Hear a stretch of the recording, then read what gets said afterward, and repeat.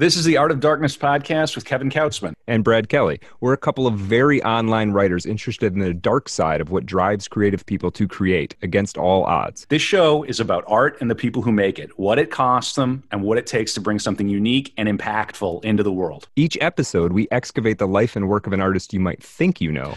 Don't worry, they're all safely dead. On every episode, we try and find out just what the hell was wrong with them and how they worked through their darkness to create something that lives on after them and continues to move culture. Find us online at artofdarkpod.com and on Twitter at artofdarkpod. All right, we've got some sponsors for the pod now. Wait, what? Every link you need for the things we talk about here is at artofdarkpod.com slash sponsors. First up, books. If you're into this podcast, odds are you're probably a reader. We've got links to buy new books from bookshop.org and used books from alibris.com. And if you want to listen to your books, we recommend and use audible.com. It's great and the catalog is huge. All right. So if you're listening to this, you are online. Maybe you're very online. You probably have a website or thinking of starting one. Maybe you want a website like artofdarkpod.com we built that with WordPress, which is by far the most popular way to create websites. And the single best host for serious WordPress is WP Engine. I've personally used them for over a decade now, and I don't host my websites anywhere else. Go to artofdarkpod.com slash sponsors and click on the WP Engine link to learn more. Finally, the best way to support the show is at patreon.com slash artofdarkpod. Get the bonus After Dark content for every episode, access to the book club, and more. Thanks for supporting Art of Darkness. And I, I don't think that was too painful. I think no, we did a pretty good job there. Yeah. Yeah, that sounded good. Yeah. Yeah, we appreciate it.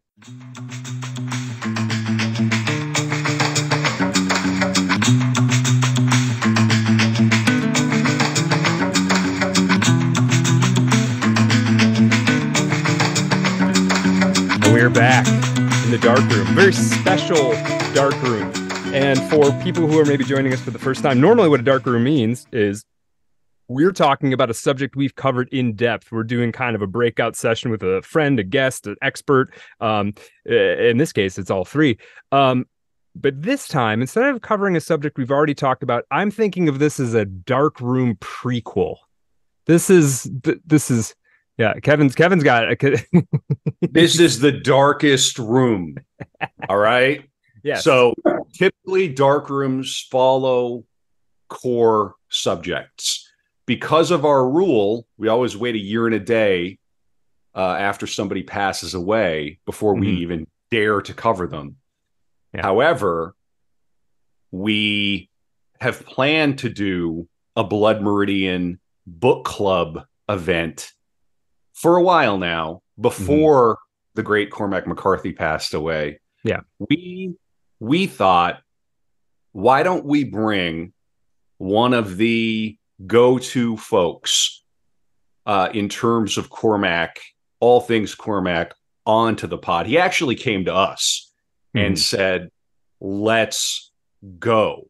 And I know both Brad and I are are really wondering one thing about the great novel Blood Meridian. And I I think we have the man who's up for the task, who's ready to answer this question with us. The great Aaron Gwyn is going to help us determine or understand or try to grok what the judge is the judge of. Aaron, welcome to the darkest of the dark rooms. No small task. You have a substack devoted entirely to Blood Meridian.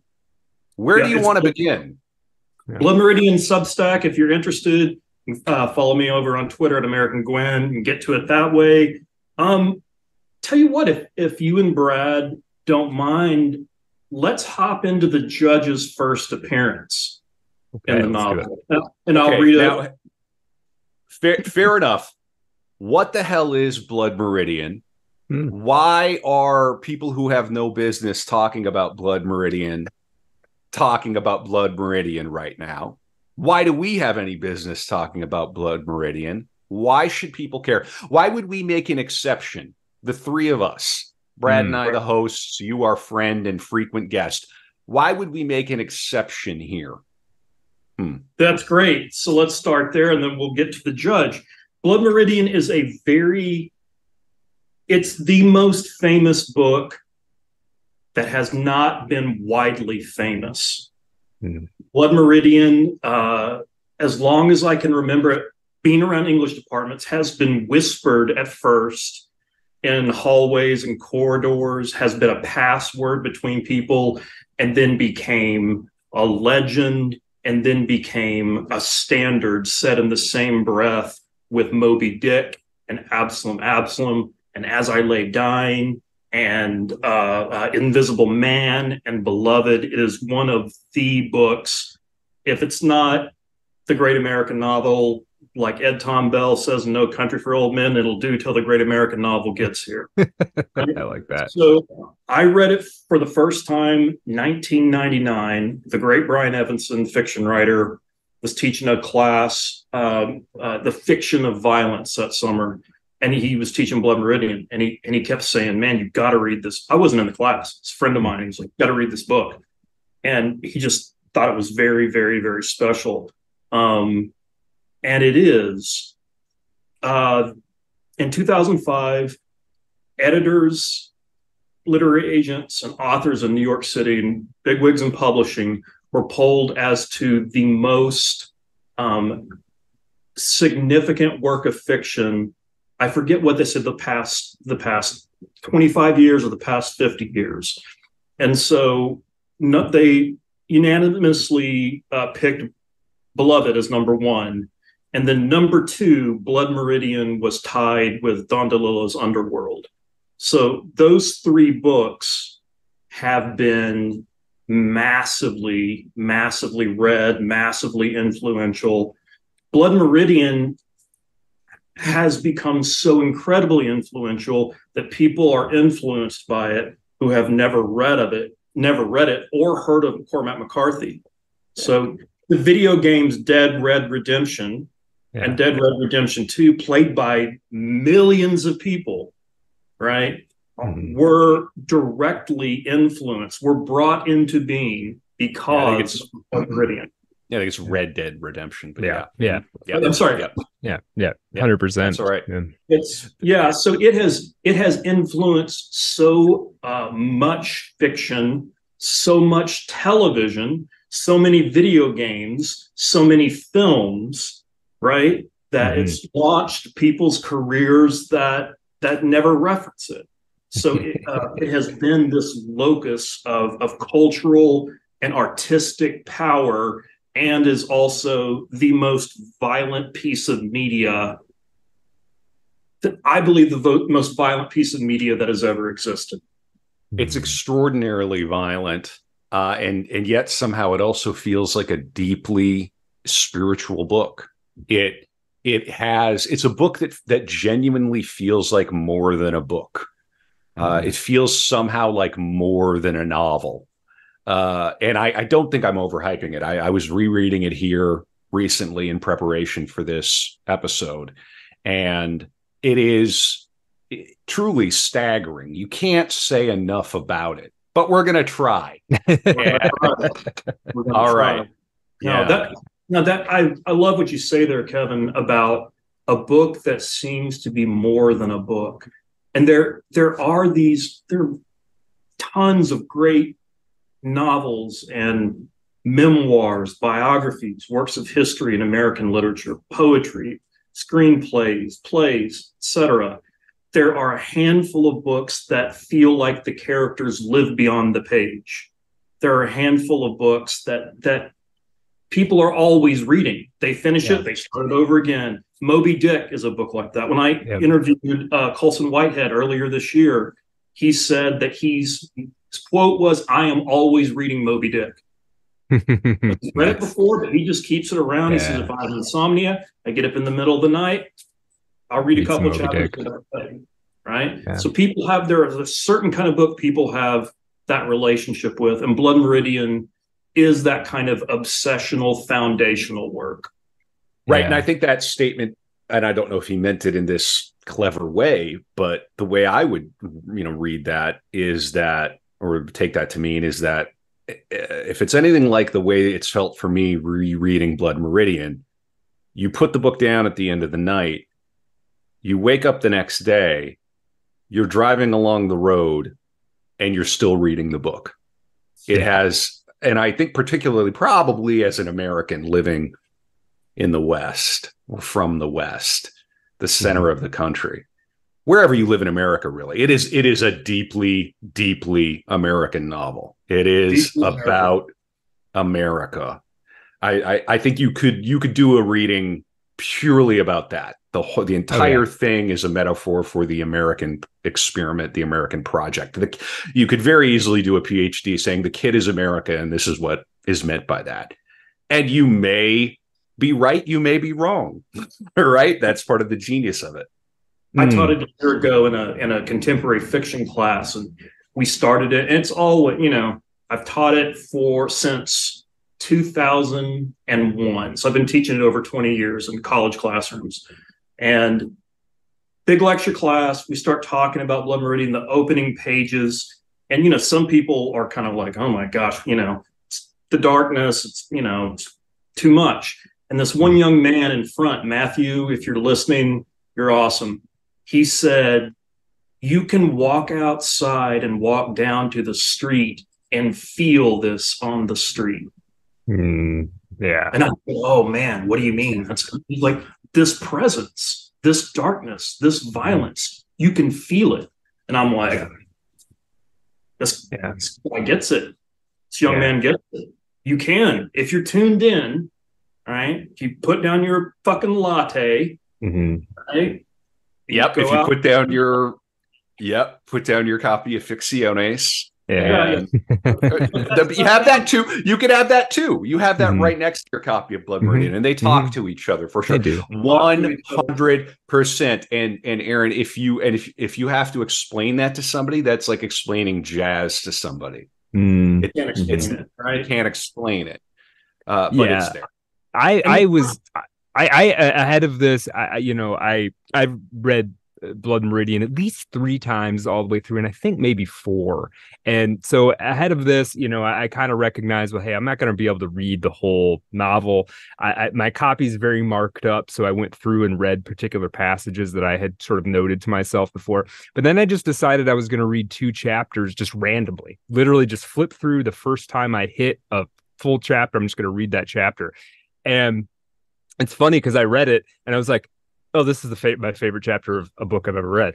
and like, is it even the best chapter in the book? I don't even know, honestly. But I remember reading that last night, putting that down, and just thinking, like, as a writer, thinking, like, Jesus, I got to step my game up, man. Like, how the fuck, how, like, if this is out there, like, what's even, and, and not, I don't say this in a dispirited way because I, I'm up for a challenge, but as a writer, I read that and I'm like, God damn, what am I going to do? this is the effect. This is the effect that it has on fiction writers. And I don't think, like, I've heard people say this is gendered and that sort of, I don't buy that. I know a bunch of women novelists, women nonfiction writers, particularly when McCarthy passed, women hosting the great uh, Maggie Doherty, who writes for the New Republic. She, RIP, this is why I started writing. Mm-hmm. Mm-hmm. I started writing because so I don't think it's like a man. McCarthy's a man's writer. Okay, maybe, but he's beloved by right. women readers. Um, yeah, yeah. So the yeah. challenge, man, it makes you feel as a writer, you're like, I got to up my game. Yeah, yeah, and it, so honestly, and it did for me as uh, developing as a writer, and I still have a lot of development to do. But like early on, when I think I started reading McCarthy around 2006, um, ambitiously writing my own stuff, and was like, oh, there are actually levels to this game that I didn't even quite recognize. Like I, I've been playing around. Um, there's like a whole nother, and and and. and uh, not to try and and then the challenge is how do I try to do this without cop like copying him, right, or parodying him, or being obviously influenced in every sentence by him, and that's also a challenge. But yeah, hmm. yeah, he's he's also it's also very very funny. It's extraordinarily bloody, but there's a great deal of humor, gallows humor, and even little Yeah. cheeky meta jokes. Uh, you can talk about the fact that one of the characters' names is Webster, and you Mhm. should probably have your dic- dictionary open when you're reading this Right, novel. Right. I think that's a little bit of an amusing, uh, sort of almost Brechtian wink. It could, Mhm. maybe it's not, right? That's the other thing. Like, there's enough in here that it's going to be a Rorschach and it's going to meet you where you are, and you're going to have your own. I mean, this is true of, of everything, but this works on, like Brad said, on uh, something of a different level. I'm a I'm a dramatist, and the dramaturgy of this, the way the scenes work, there is a cinematic quality to it. Uh, and typically, if you were to say that of a novel, it might be a, be pejorative. Not in this case. no Uh, see see yeah. this is this is mccarthy okay when you talk about the the the tradition or the question of the or the dialogue about the great american novel. Um blood meridian or, or mccarthy's oeuvre generally is the first participant in that conversation to me that is clearly inspired by cinema. Uh, you have people like david foster wallace and don delillo um, and others who are um, part of the sort of post cinematic uh you, you know with they they exist in a universe where cinema has been around for a long time but they're not as obviously influenced by by cinema as I think McCarthy is. And you see this more maybe in some of his other novels than you do actually in Blood Meridian. Um but they're not uh to me they're consciously aware of that rather than um i've just seen a lot of movies and haven't written any book read many books and i'm trying to write a novel it's not that it's No, it's it's- it's this is actually part of this is part of the the source material that he's drawing from to create these things Yeah. And not only is it a Western itself, it is this story that you can fully inhabit um, as a reader. John Gardner calls this the vivid and continuous dream of fiction, mm-hmm. right? That as a reader, you enter the great. We all know that experience, right? I mean, I, I don't care what Lord of the Rings movie or TV series they make. It can be all. It can all be fine. That stuff is never going to be as good as the movie in my head. The vivid and continuous dream, right? the, the book. so- you mean. It's never going to Yeah. be as good as the book. That's Right. right. And this and the dream that the book creates in your mind as you read, that fluid, vivid, continuous dream. So not only is Blood Meridian that, it is also formatted like books were in the 1850s. It is a pastiche. Yeah.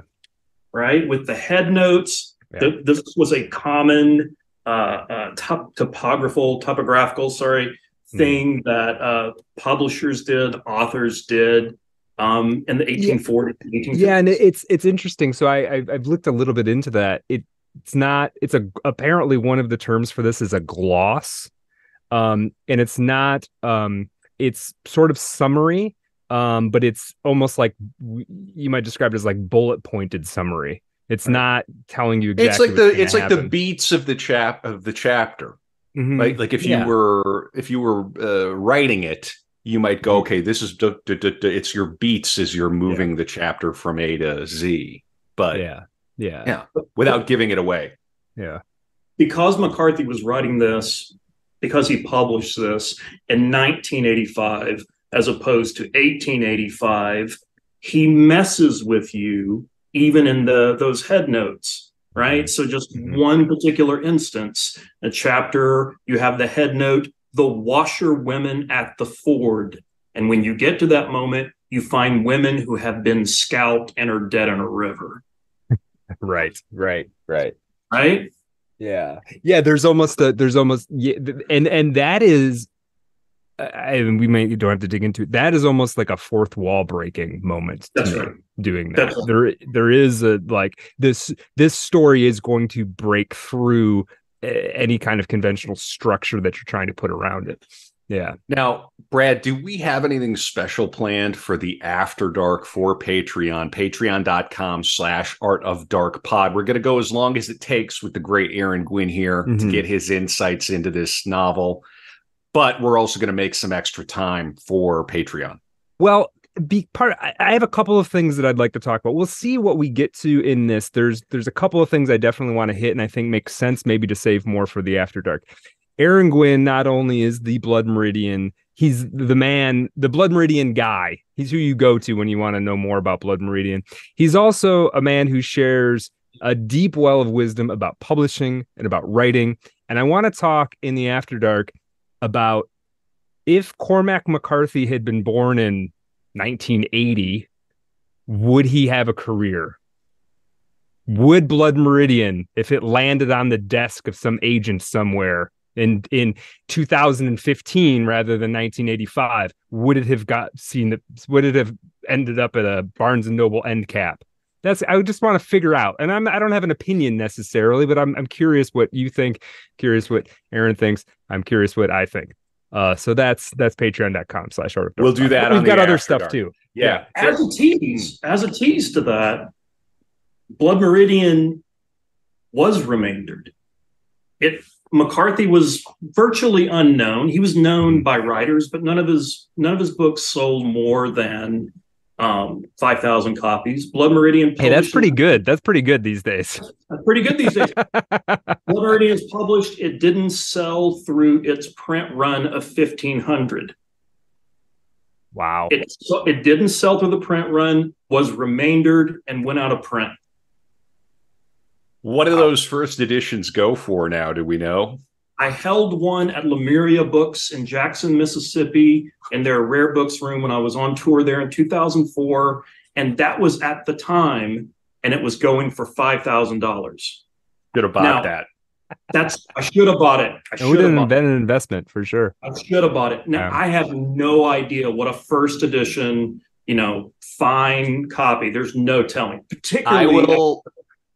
I right now that he's passed, and and by the way, we need I mean, rest in pre- uh, peace to a great one. I mean, I've oh, dude, we're doing before. we're doing yeah. this because like it's the end of an era in a certain way. It's like the end and, of an era, and we will be coming back next year with the proper Cormac mm-hmm. core episode, most probably with Aaron uh, mm-hmm. tagging along, joining mm-hmm. us uh, for that and uh, tagging along. I make it I make it sound like you're like you're no, we will have uh, Aaron on for that for sure. Um, but I've said this before, and I'm going to say it again on this podcast.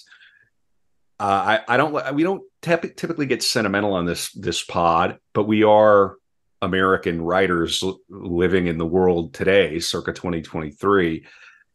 Depending on how much you care for the arts and letters, how highly you rank the arts and literature. And we rank them very highly on Art of Darkness. Yeah. We not only lost probably our greatest living writer, one of the very short list at, at the top, we may have lost the greatest living American. Certainly top 10 to mm-hmm. 20, mm-hmm. whatever field you care about. Yeah. End of an era. So, and and you know, I know sometimes people can get a little turned off by overhype. It's too much, uh, and so let me just hedge and say it's a hundred percent absolutely worth every every single bit of hype as somebody who uh, is a literature respecter. Uh, it's picking it back up again. It's just it's remarkable. In any case, Aaron, mm-hmm. I have I have you a price on a first edition Blood Meridian now. Oh, what's that? Forty thousand dollars. Oh, could have made a cool thirty-five grand on that you bad boy. He, you think he's selling it here? I don't yeah. think so. Invest yeah. in literature, people. Yeah, that's better returns than uh, dude. CMAC didn't make that much money on it yeah. for a couple decades, probably. So now. Aaron, you you just had a piece come out today. Uh, was it in the Spectator? In the in Spectator, uh, uh, web edition and and print. Um, and the uh, and the print issue is the August issue, and this is just like letting people know, hey. Um, by the way, I should uh, add that the day McCarthy um, passed, Blood Meridian went to number eight out of all books on Amazon. All books. So that's against the like 10 ways to unf your life. And like, That's right. Yeah, right. Number eight. Number eight. So for the first time, Blood Meridian became a New York Times paperback bestseller. Oh man, that's that's so my piece was like, okay, folks, you people who have heard of Cormac McCarthy and didn't pull the trigger till you heard he died, you've so you've decided to get a copy of Blood Meridian delivered to your front door. what are what are you in for? What's uh, live, laugh, scalp? Yeah, yeah, yeah. yeah. So do we want to do we want to dive into the judge the first time we see him? Yeah, yeah let's do that. You've been let's waiting patiently, and so has the audience. Yeah. Yeah, and we've just been yeah, no, this is great. Let's do it. The Reverend Green had been playing to a full house daily as long as the rain had been falling, and the rain had been falling for two weeks. When the kid ducked into the ratty canvas tent, there was standing room along the walls, a place or two, and such a heady reek of the wet and bathless that they themselves would sally forth into the downpour now and again for fresh air before the rain drove them in. He stood with others of his kind along the back wall. The only thing that might have distinguished him in that crowd was that he was not armed. Neighbors, said the Reverend, he couldn't stay out of these here hell, hell, hell holes right here in Nacogdoches. I said to him, I said, You gonna take the Son of God in there with you? And he said, Oh no, no, I ain't.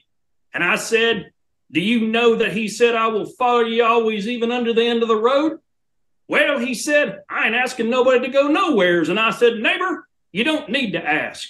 He's going to be with there whether you stick every step, every whether you ask it or not. I said, Neighbor, you can't get shed of him. Now, are you going to take him, him, into that hellhole yonder? You ever see such a place for rain? The kid had been watching the Reverend. He turned to the man who spoke. He wore long mustaches after the fashion of Teamsters, and he wore a wide brim hat with a low round crown. He was slightly wall eyed, and he was watching the kid earnestly as if he'd know his opinion about the rain. I just got here said the kid. Will it beats all I ever seen. The kid nodded. An enormous man dressed in an oilcloth slicker had entered the tent and removed his hat. He was bald as a stone, and he had no trace of beard, and he had no brows to his eyes, nor lashes to them.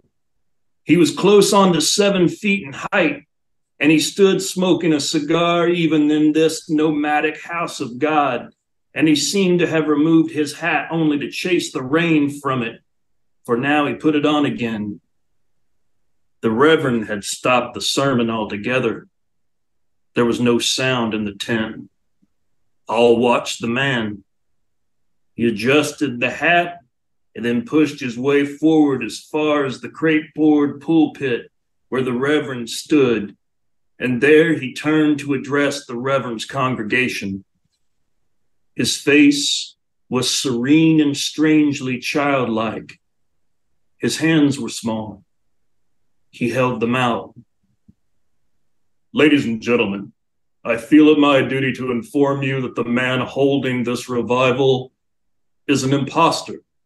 He holds no papers of divinity from any institution recognized or improvised. He is altogether devoid of the least qualification to the office he has usurped and is only committed to memory a few passages from the good book for the purpose of lending to his fraudulent sermon some faint flavor of the piety he despises. In truth, the gentleman standing here before you, posing as a minister of the Lord, is not only totally illiterate, but is also wanted by the law in the states of Tennessee, Kentucky, Mississippi, and Arkansas. Oh, God, cried the Reverend. Lies, lies! He began reading feverishly from his open Bible. On a variety of charges, the most recent of which involved a girl of 11 years, I said 11, who he had come to in trust and whom he was surprised in the act of violating while actually clothed in the livery of his God. A moan swept through the crowd. A lady sank to her knees. This is him, cried the Reverend, sobbing. This is him, the devil. Here he stands. Let's hang the turd, crawled, called an ugly thug from the gallery to the rear. Not three weeks before this, he was run out of Fort Smith, Arkansas for having Congress with a goat. Yes, lady, that is what I said. Goat. Well, damn my eyes if I won't shoot the son of a bitch, said a man rising at the far side of the tent, and drawing a pistol from his boot, he leveled it and fired. The young teamster instantly produced a knife from his clothing and unseamed the tent and stepped outside into the rain. The kid followed. They ducked low and ran across the mud toward the hotel. Already gunfire was general within the tent, and a dozen exits had been hacked through the canvas walls, and people were pouring out, women screaming, folks stumbling, folks trampled underfoot. The bald headed man was already at the bar when they entered. On the polished wood before him were two hats and a double handful of coins. He raised his glass, but not to them. They stood up to the bar and ordered whiskeys, and the kid laid his money down, but the barman pushed it back with his thumb and nodded. His hair's on the judge, he said. They drank. The teamster set his glass down and looked at the kid, or he seemed to, you couldn't be sure of his gaze. The kid looked down the bar to where the judge stood. The bar was that tall, not every man could get his elbows up on it, but it came just to the judge's waist. And he stood with his hands placed flatwise on the wood, leaning slightly, as if about to give another address. By now, men were piling through the doorway, bleeding, covered in mud, cursing.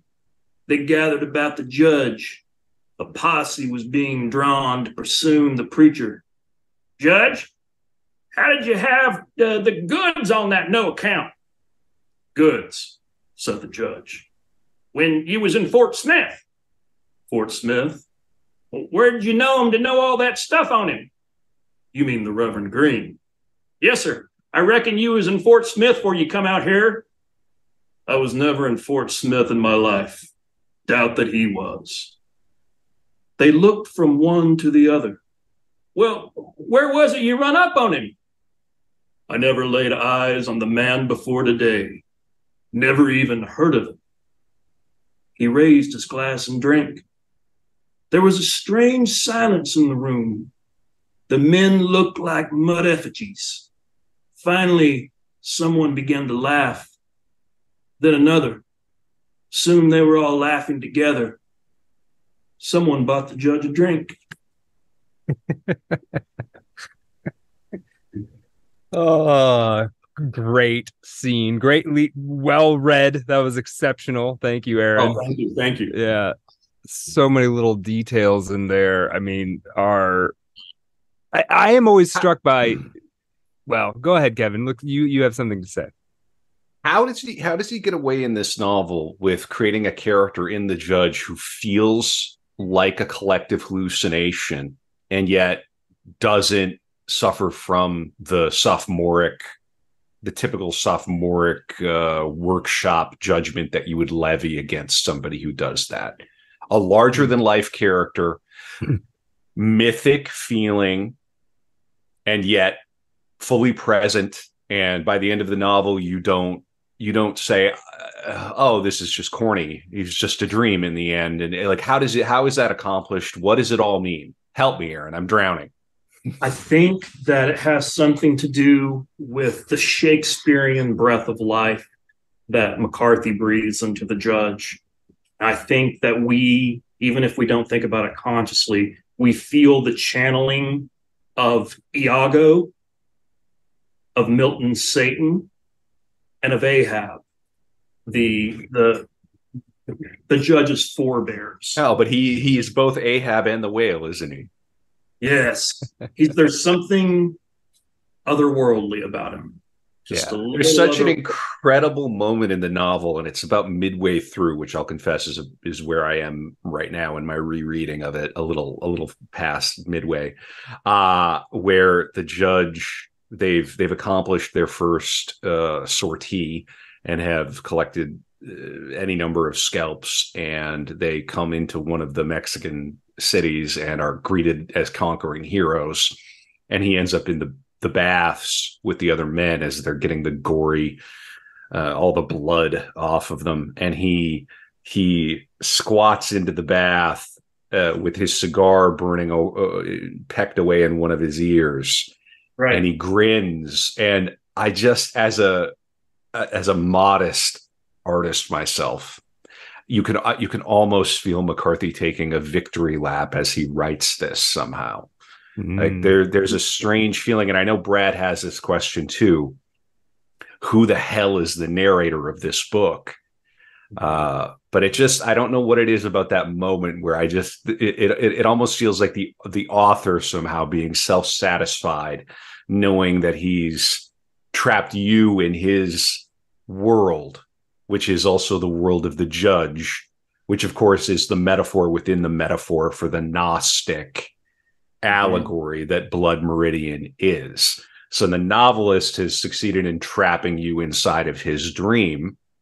And if you're a Gnostic respecter and you believe the demiurge has us all trapped inside his dream, then Cormac has succeeded in uh, Ah, well, yes. mi- if, if this- mimicking if- the demiurge in if his this work. world if this world could be created by a lesser god then it may very well be creatable by anyone else right by just by some guy in America, yeah, in the '80s. Anyway, yeah, Mm. Mm. Gnostic deep idea- thoughts.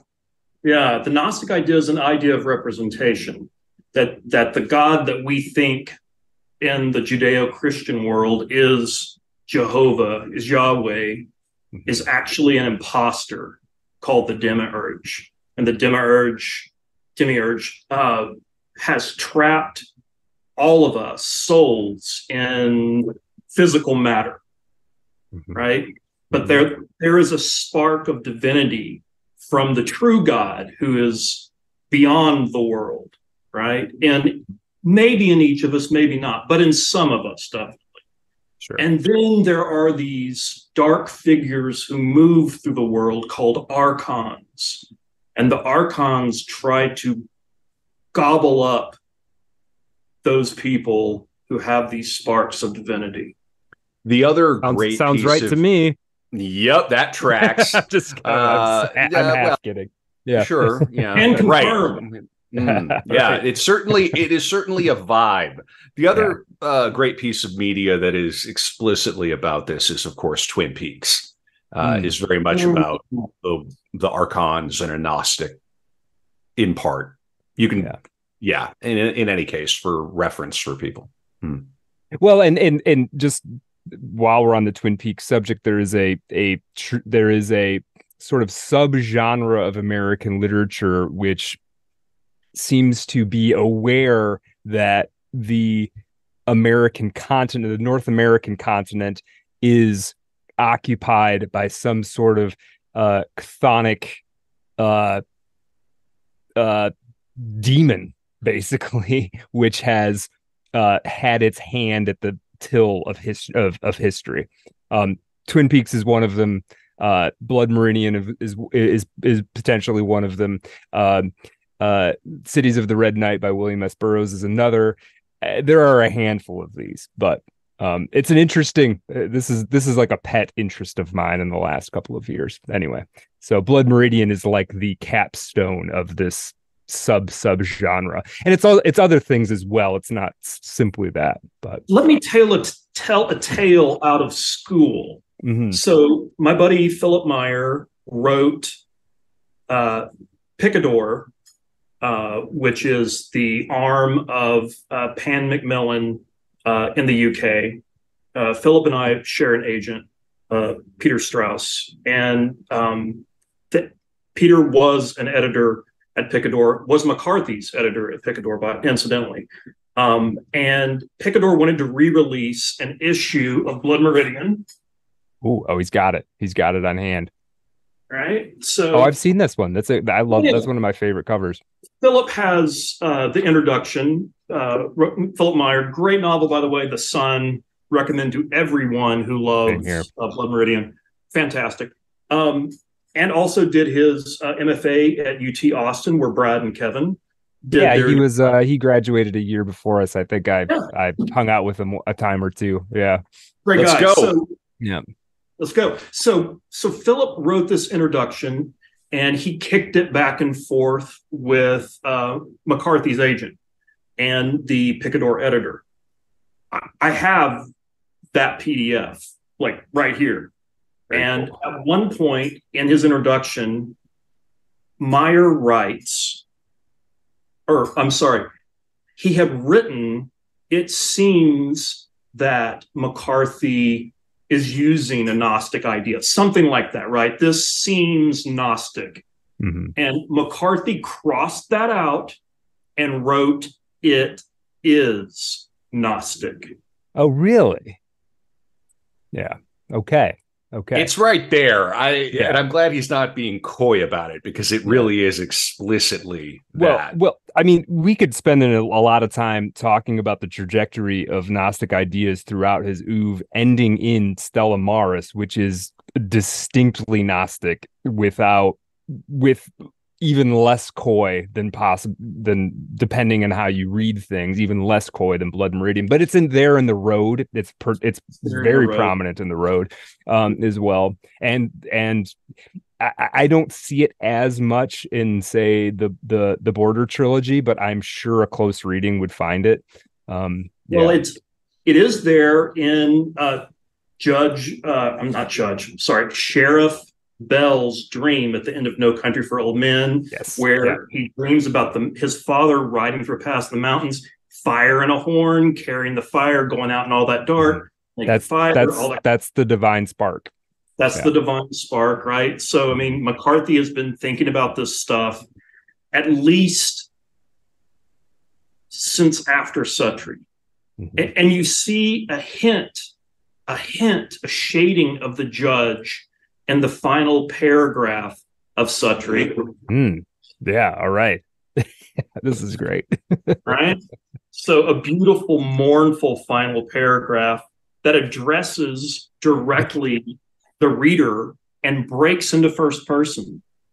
Somewhere in the gray wood by the river is the huntsman, and in the brooming corn, and in the castellated press of cities. His work lies all allwheres, and his hounds tire not. I have seen them in a dream, slaverous and wild, and their eyes crazed with ravening for souls in this world. Fly them. Good lord. Right? So he's been thinking about this at least since Suttree. Yeah, At yeah, the- and by this, I mean the Gnostic right. trajectory. Right. Right. And uh, this isn't a uh, podcast about Gnosticism, but I am on the Wikipedia. And just very briefly, the etymology of the word, of course, is that gnosis refers to knowledge based on personal experience or perception in a religious context. Gnosis is mystical or esoteric knowledge based on direct participation with div- the divine. In most Gnostic systems, the sufficient cause of salvation is this knowledge of or acquaintance with the divine. Yeah. And we could go on for a Well, let me time. let me speak. This is I've Yeah. spent a lot of time thinking and right, reading about Gnosticism. Uh, Yeah. Let me just append It- that. It's also heresy. But Well. go on. is it? Um, so, um, Yeah, uh, said. yeah. So, so I mean, there there are other aspects of the, to think about this. Gnosticism refers to a broad range of different sects of most people generally consider it um, heretical Christianity, early forms of Christianity. I- I- you think of Christianity as evolving school of thought in which you've got these branched out groups that are heretical and to some degree were stamped out. Um, the particularly what McCarthy is occupying appar- apparently or seems to be with works like Blood Meridian falls a little bit more cl- uh, clearly into the Manichaean camp and Wow. the Manichaeans were obsessed with notions of good and evil, but they also were con- very much concerned with the fact that physical matter had a demonic undercurrent to it. This stuff was all built as a ex as a by the demiurge in order to trap you and force you to forget your divinity, right? And so the Gnostic concept was like, hey, wake up. This isn't everything there is what you should be trying to do is trying to figure out how to bring your spark back to God, um, which isn't anywhere around, around these parts, right? Um, so there are schools of thought within. There are schools, uh, uh or there were that would be considered Gnostic whose belief systems don't quite square exactly with that.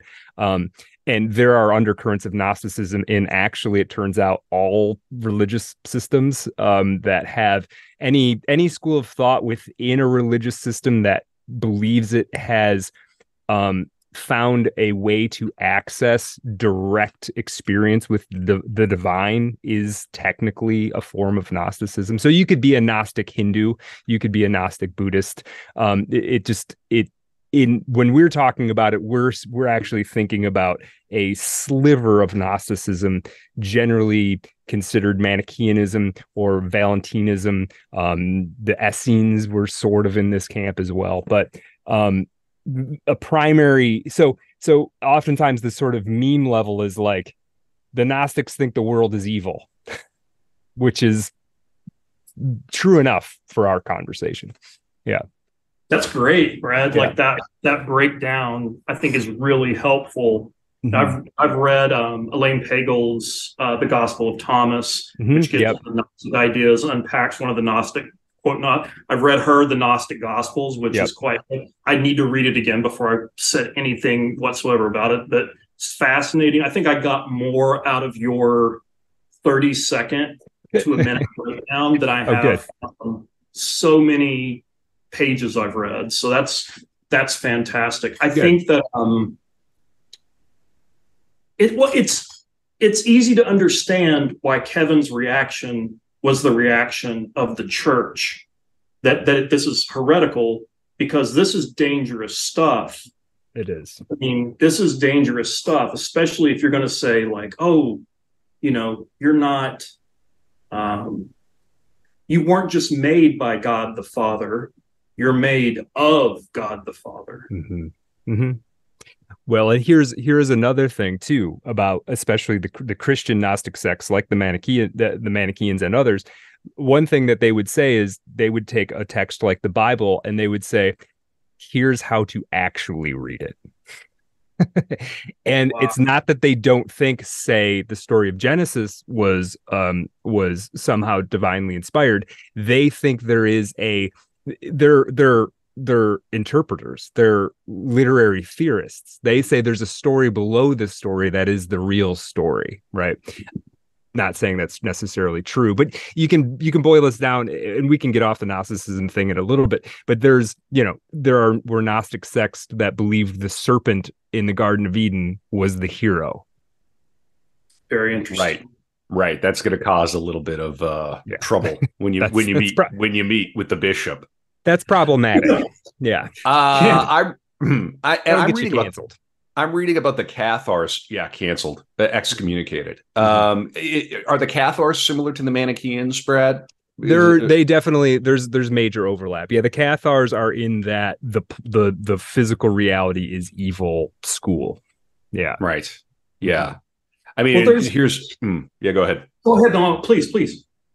No, no. I mean, it's just uh, the the Catharism Wikipedia just goes so hard. It's just super metal, right? So here's just like random other beliefs, and the Cathars were a Gnostic sect that I believe were were wiped out. Um, yeah, in the Albigensian. Crusade. Correct. Here's why I think the judge works because it, it invites the kind of speculation and, and unpacking of philosophy that we're doing right here. Mm-hmm. This character invites that. At the same time, he is grounded in a seven foot, hairless albino with alopecia who is who is competent an orator, uh, expert in violence, cultured, the all around, the all around man. Yeah. Plus evil, right? So he's anchored in a real presence and yeah. physicality, right? So you have that doubleness. You have the the physical surface of the judge, the physical attributes of the judge, combined with well is this like a manichean thing is this like a gnostic thing is what's the right so you have both things abutting and creating this weird tension i don't know if you guys have ever known it's a very particular type man a guy who's six eight or over moving through the world is a different kind of person mm-hmm. and is interacting with people in a different way it's very interesting to watch there was a mm. world cup some years ago, there was a referee. This guy may be famous for all I know, who was about seven feet tall, bald, and just a presence. And he commanded that entire space. And like other referees, you know, there's always a kind of between players and referees, a kind of argumentative. There was none of that with this yeah, he's just. Right? There's something about, and by the way, I'm five eight, so I'm not like saying this like, oh, respect the big. I'm just right. saying, hey. Oh no! If you're that size, it's it's it's something. I've I've encountered a few of these people of that size. Uh, maybe not even a few, maybe a couple, and yeah. it is. Oof, this guy is. If you know, if we were in some kind of uh, uh an era of uh, if we were in an era where there weren't handguns, this guy would be able to do whatever he wanted. exactly right. Yeah. And, and, yeah. In an era when when a tall man was five foot nine. Right.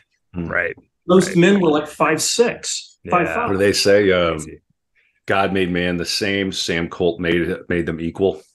Yeah, right. yeah, right. for yeah. something like that. Uh, yeah. you know, it, it, it does strike me. Of course, these uh, Christological uh, mm-hmm. resonances are all, of course, intentional. Uh, I, and again, I don't, I don't want to uh, border too much on the heretical, but yeah. the more I think about the question I put to you, Aaron, about how this character sits in that place. Well, it's clearly a Christ like place. It's like a superimposition of both things, man and God. The, ju- the judge is some sort of perversion of that uh, or, or inversion of that. Um, and it's eerie. yeah, can I read? A, uh, can I read a little bit? There's a great, um, there's a great um essay uh oh did i not include the name? Oh i have it here. The striking the fire out of the rock gnostic theology in cormac mccarthy's blood meridian. Let me just read just a little bit just to put this into some context or or add some context i should say. Quote whether an archon of judgment an incarnation of shiva the many-armed hindu god of destruction or lucifer himself the judge in Blood Meridian is this primary initial kind of trickster. And we saw that in the, the passage that Aaron read. That is that is a trickster move. He may be a giant, but it's not quite about physical intimidation, right? That's trickster. That's I'm going to cause anarchy in this moment. If um, I may too, because and then in the rest of the novel, uh, do they do they ever step foot in a church that hasn't been completely oh. wrecked? Right. No, they, it's not. either wrecked or yeah. they wreck it, I think. Or they yeah. wreck it. Yeah. yeah. And so of course hmm. the the the, the stat I don't know what you call what do you call statues of saints statuary? Is that correct? Sure. Yeah. But sure. anyway, you walk into these churches, there will be a Mary holding the Christ child, but the Christ child's head will have been severed. Oof, right. It's very, it's very, it's very uh, particular. It's, it's intentional. It's very deliberate. Is the word I'm stumbling for? Yeah, sure. Yeah, hundred well, percent. I mean, how do we meet him? He, you know, you have these this. I, I, what's the word for him? Some sort of Protestant preacher, uh, and he disrupts the service, and the tent gets slashed, and he accuses him of being a pedophile and a goat fucker. Yeah, uh, it's it's it's pretty hilarious. Oh, I, can I, I, I? just admire the right the the move at from a writing craft standpoint when the the teamster fella just cuts unseams the tent with his knife and they step out. There's something that will I will have that in my head forever. I, I don't know what it is about that. It just works. Your your reality is so flimsy. Yep. I'll just cut it wide open. And if I can I- do this to the tent of God, what could I do t- unto you? Hmm. Well, also there's like with this book, there's all this metaphysical cool stuff, but it's grounded in the particular. Don't forget the judge ends up with the reverend's fucking offering. When they go into the bar, the judge is there with hat a hat with a handful of coins. Mhm, mhm. So he's chaos, but he is chaos for a reason. He is Yes. order. I want that money. Mhm.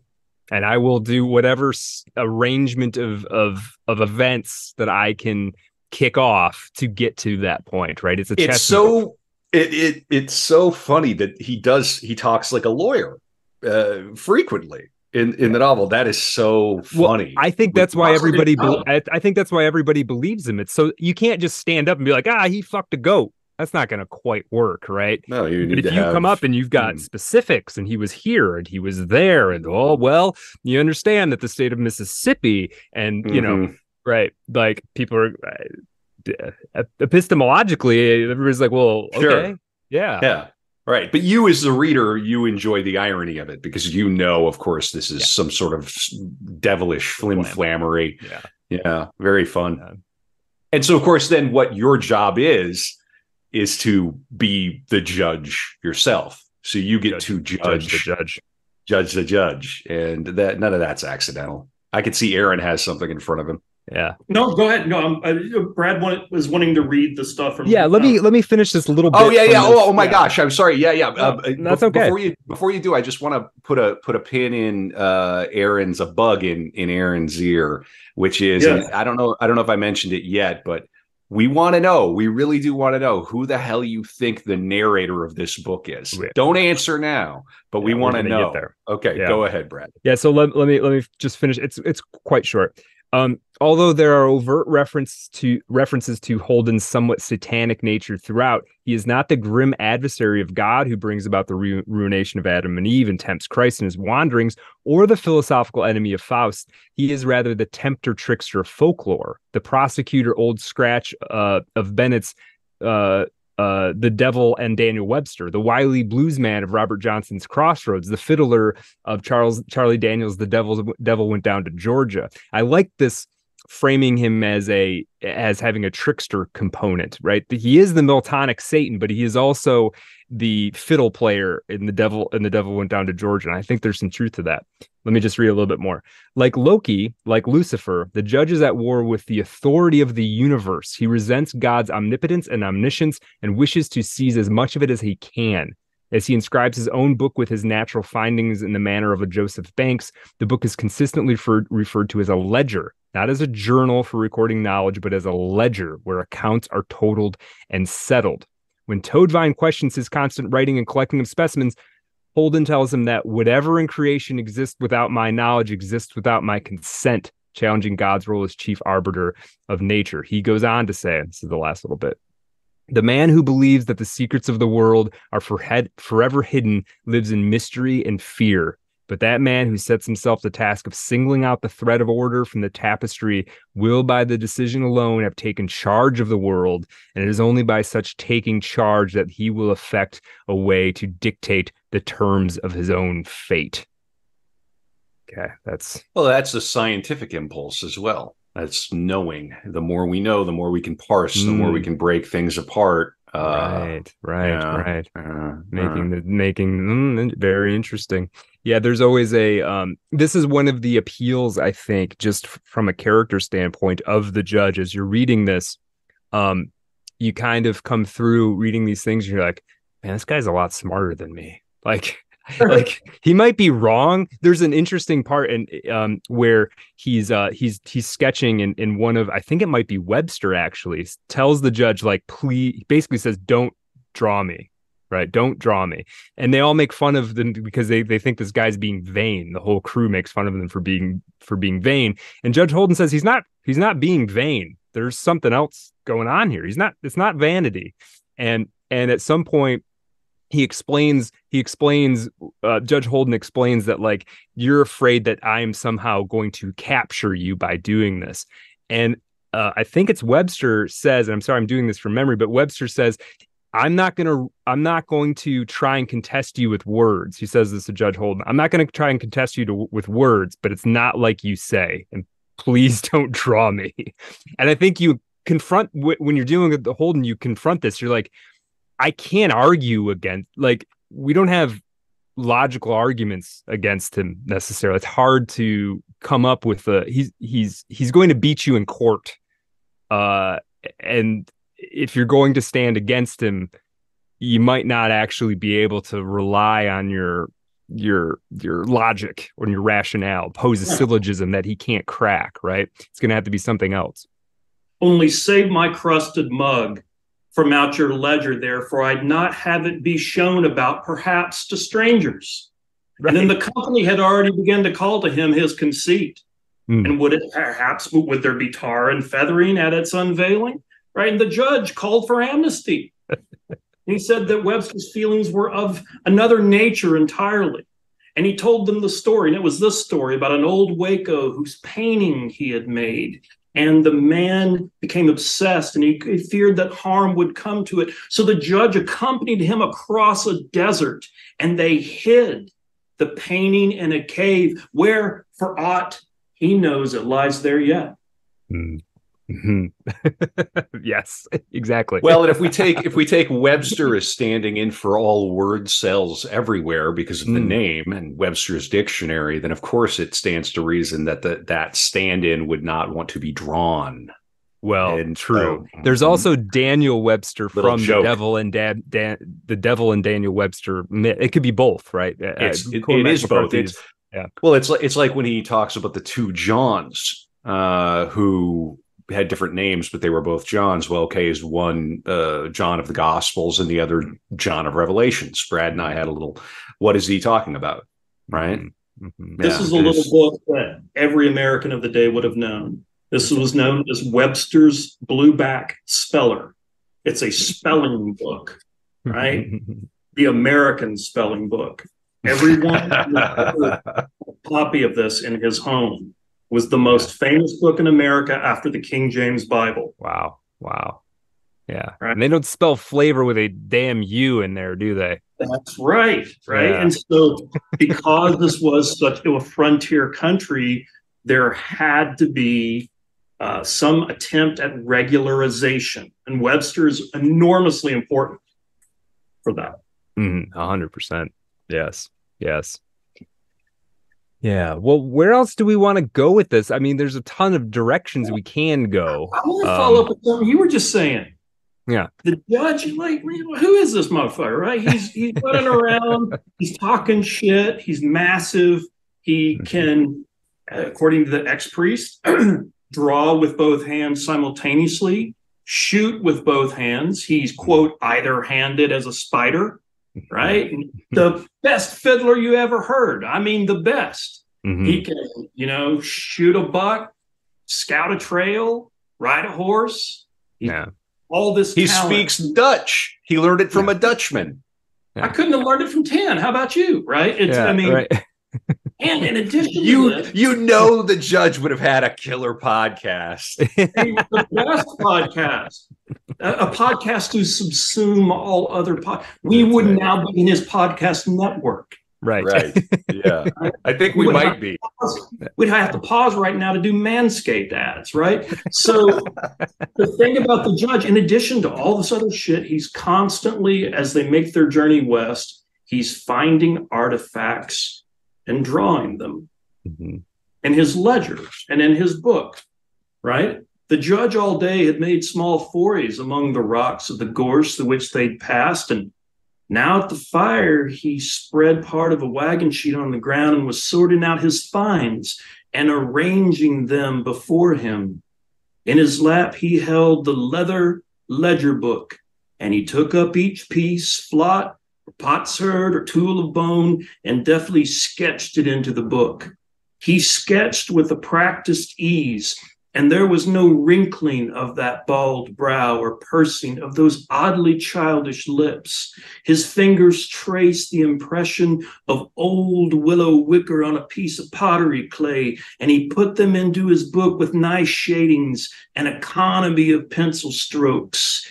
He is a draftsman as he is other things, well sufficient to the task.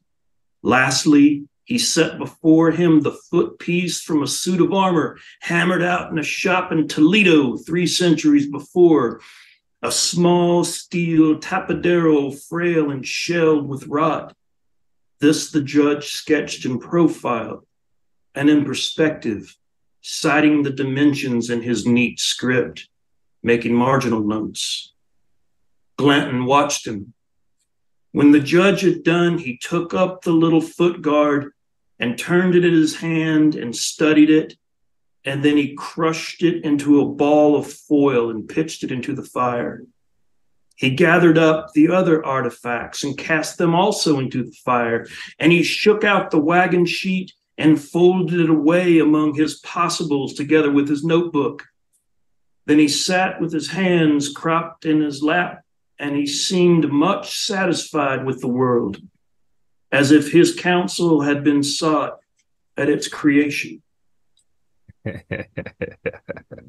so we're going to driving toward what is the judge a judge of? It's mm-hmm. interesting how often you see him make copies of artifacts of physical things. He has the ledger book, then he destroys the original. Mm-hmm. There's a constant taking of the artifact, taking of the real, the taking of the physical, making a representation, a mm-hmm. representation mm-hmm. of that thing, and then destroying the evidence, destroying the original, replacing the original with a counterfeit. Mm-hmm. And as he says, all books are lies. Right. Well, a false book. Well, he says books lie. Books lie. Yeah. Books yeah. lie, right? Not books are lies. That's right. There, there's a difference there books for lie. sure. Yeah. And and then then the man says, God don't lie. And the judge responds, No, he does not. And these are his words, right? He holds up rock. Mm-hmm. He speaks in bones and trees. He, st- he speaks in stones and trees, the bones of things. and that's an excellent example of, uh, I don't know if it's foreshadowing, but it's such a sly move because it sets up the major passage in the story that is recounted to the kid, which is for many people the highlight of the, the book, which is the story of the judge concocting uh, what is it uh, gunpowder out of the the earth around them in the desert two different mountains sulfur and then the, their own piss in this mm-hmm. kind of unholy communion to create this uh again gunpowder because they're they're dry of gunpowder they have none nice. left and they're yeah, gonna be they're, they're gonna be hot, massacred hot, yeah they're yeah. under hot pursuit at the moment yeah, yeah and they're going to be massacred by the uh the apache and there's a I don't have the page in front of me, but there's a moment where they're waiting for the the sun to dry the sort of wicked paste that they've created out of their own urine.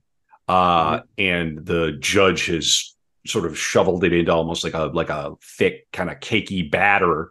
And there's a moment where the a cloud almost covers the sun and it, it's just this hitchcock level of of tension being woven there. And you you know that the that the the cloud would not thwart the judge somehow. Like you you mm-hmm. know they're gonna they're gonna get what they came for. But he just uh, cormac or the narrator cormac writing describes the judge's mixture as a matrix. Yes. a matrix. And that's how he tells you that it's sort of starting to crack but and and and create a pattern. But that to me if we're talking about gnosticism another great piece of popular media is quite literally called The Matrix about it, which is a Gnostic allegory. In any case, mm-hmm. yeah, go ahead, uh, mm-hmm. Aaron. It's page 138 and 139. And it, back to McCarthy's humor, his humor. He's so fucking funny. And in this scene, that is, it's the thing, right? It's the all great text. They have the story within the story, the play within the play, the tale within the tale. That mm-hmm. How came the learned man is the head note. Where did the judge come from? Where where is this old boy? Mm-hmm. Right? Mm-hmm. But in the mix of that, Tobin's the ex priest, of course, is telling the story. And then he describes the judge mixing this. And then Tobin says, I didn't know but what we'd be required to bleed in it like Freemasons, but it was not so. He worked it up dry with his hands, and all the while the savages down there on the plains drawing nigh to us. And when I turned back, the judge was standing, the great hairless oaf, and he took out his pizzle and he was pissing into the mixture, pissing with a great vengeance, and one hand aloft, and he cried for us to do likewise. We were half mad, anyways, all lined up, Delawares and all, every man save Glanton, and he was a study. We hauled forth our members, and at it we went. And the judge on his knees kneading the mass with his naked arms and the piss was splashing about. And he was crying out to us to piss man piss for your very souls for can't you see the redskins yonder and laughing the while and working up the great mass in a foul black dough a devil's batter by the stink of it and him not a dark bloody pastryman himself i don't suppose and he pulls out his knife and he commences to trowel it across the south facing rocks. Was it piss for your very souls? That's so good. No, I can't. Uh, I can't read as well uh, on the fly as Aaron. I don't have this the spirit in me. Maybe I need to, uh, you know, study some more Gnosticism. But I want to get to this word because Brad and I on a back. That was that was awesome, Aaron. That's so much fun. Uh I may have we may have to cast you for the theater company at some point for a reading. Uh but and this is later in that passage. We had, I would suppose, an hour. We watched the savages and we watched the judge's foul matrix drying on the rocks, and we watched a cloud that was making for the sun. The etymology of the word matrix uh, is obvious. It comes from the late Middle English in the sense of womb from Latin, breeding female, later womb from mater, mother. Guarantee mm. he's aware of that, but it also suggests the this mixture is starting to crack under the heat of the sun. Mm-hmm. It's just extraordinarily deft and very I don't think very many other writers would come up with that that word for that moment um mm-hmm. pregnant with so much meaning Pardon the pun. Mm-hmm. Indeed. Look at, Indeed. Look at what happens right after that, right? So after the judge is sitting there, they're all watching. And by the way, the judge does glance up at the cloud. There's a cloud that's making for the sun. They're worried if the cloud covers the sun, won't dry the matrix, no gunpowder, and the, the Apaches will find them and it'll be bad fucking news. But finally, that doesn't happen. The judge closes his book and takes up his leather shirt right? And we heaped it up in the shirt, and he commenced to chop it and grind it with his knife. And Captain Glanton, he calls out, Captain Glanton, would you believe it? Captain Glanton, he calls, come charge that swivel bore of yours and let's see what manner of thing we have here. Glanton comes up with his rifle and he scooped his chargers full and he charged both barrels and patched two balls and drove them home and capped the piece and made to step to the rim. That was never the judge's way. Down the maw of the thing, he says, and Glanton never questioned it. He went down the pitch of the inner rim to where lay the terminus of that terrible flue, and he held his piece out over it and pointed it straight down and cocked the hammer and fired. You wouldn't hear a sound like it in a long day's ride. It give me the fidgets. He fired both barrels and he looked at us and he looked at the judge. The judge just waved and went on with his grinding. And then he called us all about to fill our horns and flasks, and we did one by one, circling past him like communicants. right, right, right. Oh. Yeah, yeah, he's in. He's playing with all of that stuff, and you're if you're following this Gnostic trajectory, there's a certain idea in Gnosticism uh, where it's kind of antinatal. the idea that that why would you bring life into this world if this world is fallen and under the hands of the yeah why would demiurge? you why would you do the work of the demiurge and trap more light in this dimension yeah correct and what do these fellows do they take out their generative organs and Mhm. they create out of the earth out of the very world around them out of the very desert around them uh, they create this devilish i mean it's literally sulfur is one of the things there that's in use there they create this hellish gunpowder that then they use to to take life out of the world Mm. in a very similar so it's this inversion of fecundity it's this like anti life Mhm. moment yeah Mhm. Mhm. not to get too freudian but i think it's all pretty obviously there yeah and the judges i mean the judges a, a priest of it in a way Mhm. right correct all of this concludes, right? The kid listens. This is the kid listening to this whole chapter. The kid listening to the ex priest Tobin tell this story about how came the learned man. How did the judge come to join them? And at the conclusion of this chapter, the kid's only response to this amazing story is this The ex priest turned and looked at the kid, and that was the judge, the first I ever saw him. Aye, he's a thing to study. The kid looked at Tobin. What's he a judge of? He said. What's he a judge of? What's he a judge of? Tobin glanced off across the fire. Ah, lad, he said, hush now. The man will hear ye. His ears like a fox. Dangerous question. yeah Dang. you're not even supposed to ask right to Ask. I think the to- implication is if you ask he, he will be the judge of you and it foreshadows the kid's ultimate fate It's you don't news. want um, yeah you don't want that guy to he's it's the eye of sauron a little bit yeah yeah Mhm. yeah It's bad news. We'll, we're driving toward it. Though. We're driving toward what he's judge a little more. Mm. So much stuff, though. I mean, you you bring up one passage, and you have these trails that go into philosophy, into theology, theosophy, cosmology, American history. The thing I'm most interested in personally, my my own obsession, right, is is that like, oh my gosh, the Bowie knife. This is 1849, 1850. The Bowie knife comes to existence in 1828, and now all these Americans have them, right? I mean, so I'm I'm thinking about a lot of this stuff historically and about the material culture of these men and what the fuck is a swivel bore, right? very rare firearm. It's got two barrels. You can swivel swivel the barrels because it doesn't have a rotating cylinder. Huh. Right? Okay. The barrels turn. the barrel itself turns interesting the the cartridge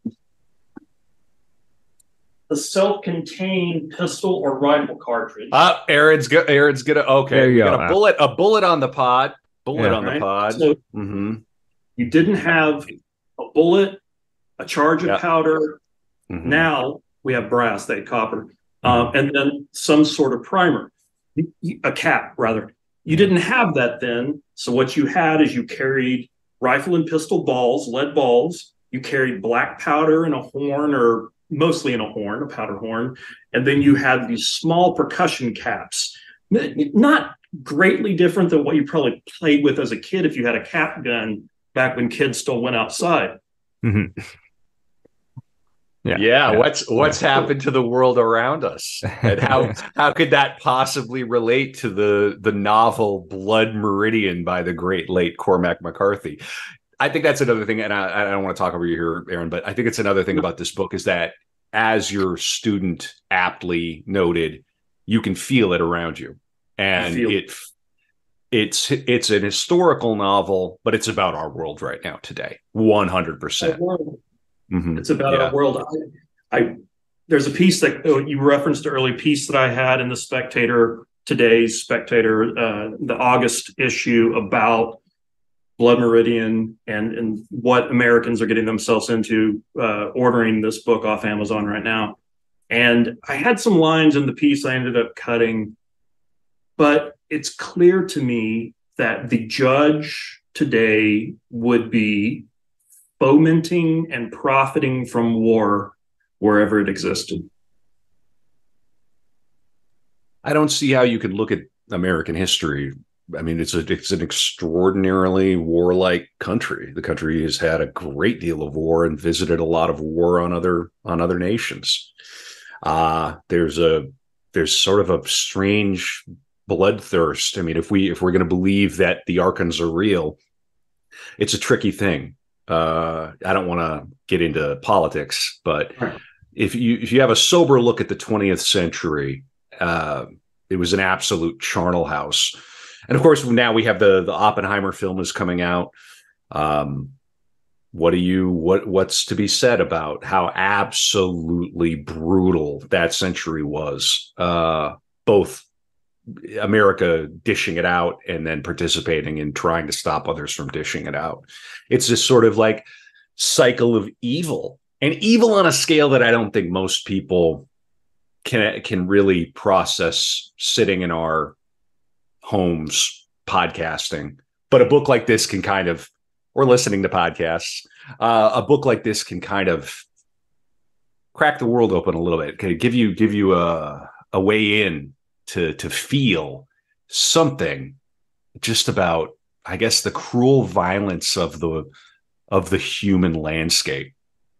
Yeah, it's one of the things this book does and, and, and what it feels like to be a body of flesh and blood and breakable bone wandering around this world and how quickly we break how frail we are how and how devastating pain physical pain can be how devastating it can be and how much of it there used to be in the lives of people there's still a great deal of physical pain, great sure. deal of pain. But it used to be the existence of Americans in the 19th century, mid 19th century, was all about pain. And and if you were Native American, you were Apache or Comanche. Oh boy, think about what they lived through. Yeah. and think about what they weren't able to live through. Mm-hmm. Right. Mm-hmm. Like 99% of the Comanche were wiped from the face of the earth. Think about that 99% of an entire people, right? So we're talking about hmm. a brutality that's really difficult to imagine scrolling TikTok. Yeah. Well, and this is, I, and i have stepped away for a moment, so I apologize. I don't know when I, I'm sorry, when I scroll TikTok, I do get into a homicidal rage. Yeah. so, an indiscriminate gang, gang, yum, yeah. yum, gang, yeah. gang, oh, homicidal rage. Sorry, had to be done. I would rather read about a, a herd of you know of you'd rather you'd rather read, yeah, you'd rather read about a tree of dead babies yeah which is one of which is that. one of the haunt the most haunting images in all of all of it literature is. it is i mean we've got bosch we've got dante we've got milton we have shakespeare mm-hmm. we have the bible we have uh john ford we've got uh, mm-hmm. the Searchers. We've got uh, Ingmar Bergman, uh, the Seventh Seal. I mean, this thing just sets off. It's an absolute cacophony in my uh, intertextual yeah. media hypersaturated brain when I'm reading this. It's such a joy. Yeah. Go on, Brad. Well, and and and and one of I mean, we talk about the judge, and of course, the judge is the uh, one of the most sort of appealing from a literary standpoint aspects of the story. But to me, the landscape itself plays this role that is um, almost unmatched elsewhere in literature, and it's constantly it you will hear people refer to a book and be like oh the the environment is like a character. But here it really it really sort of is. And this is what was interesting about your spectator your recent spectator piece aaron was that the the art for it and i don't know who did that but the art for it was the judge's head as the sun um, which is kind of gnostic in and of itself, right? Really, you know, if the land is demonic itself, but but you feel there is you're in contest with the environment. It's beautiful, but it will also take your life at a moment's notice. And they're constantly passing through very alien territory that is has characteristics that I think if you haven't been outside and touched grass in a while, you might not realize are even part of what the earth can be like. You know, there's a there's a passage I was reading where they're re- they're they're they're riding and the heat off of this rock wall is so intense they have to like turn their head away from it because it's just such the, the heat radiating off of it is is basically burning them. Um there's at one point somebody gets picked up by like a little dust devil uh, or they find somebody who'd been picked up by a dust devil i believe. Um there's that beautiful bit where they're kind of they're going down through uh, into some like dry riverbed or something and a bear grabs one of the delaware like a storybook beast um, and his compatriot, his Delaware compatriots, track try to track it for several days, but have no luck actually finding after actually finding him. Um, it, it's just like at any moment the landscape can just open up, and any number of horrors will be foisted upon you.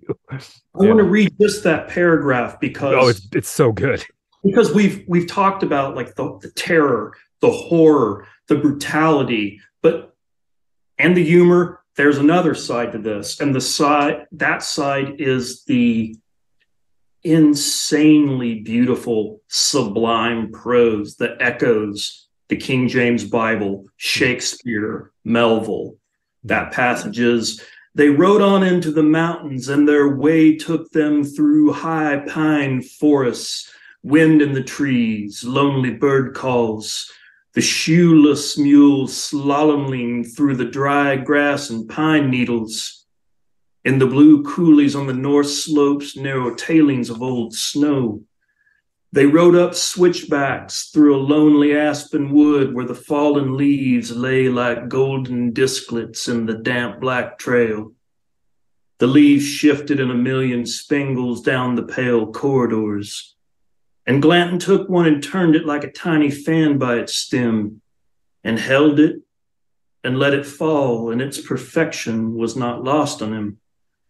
They rode through a narrow draw where the leaves were shingled up in ice, and they crossed a high saddle at sunset where wild doves were rocketing down the wind and passing through the gap a few feet off the ground, veering wildly among the ponies and dropping off down into the blue gulf below.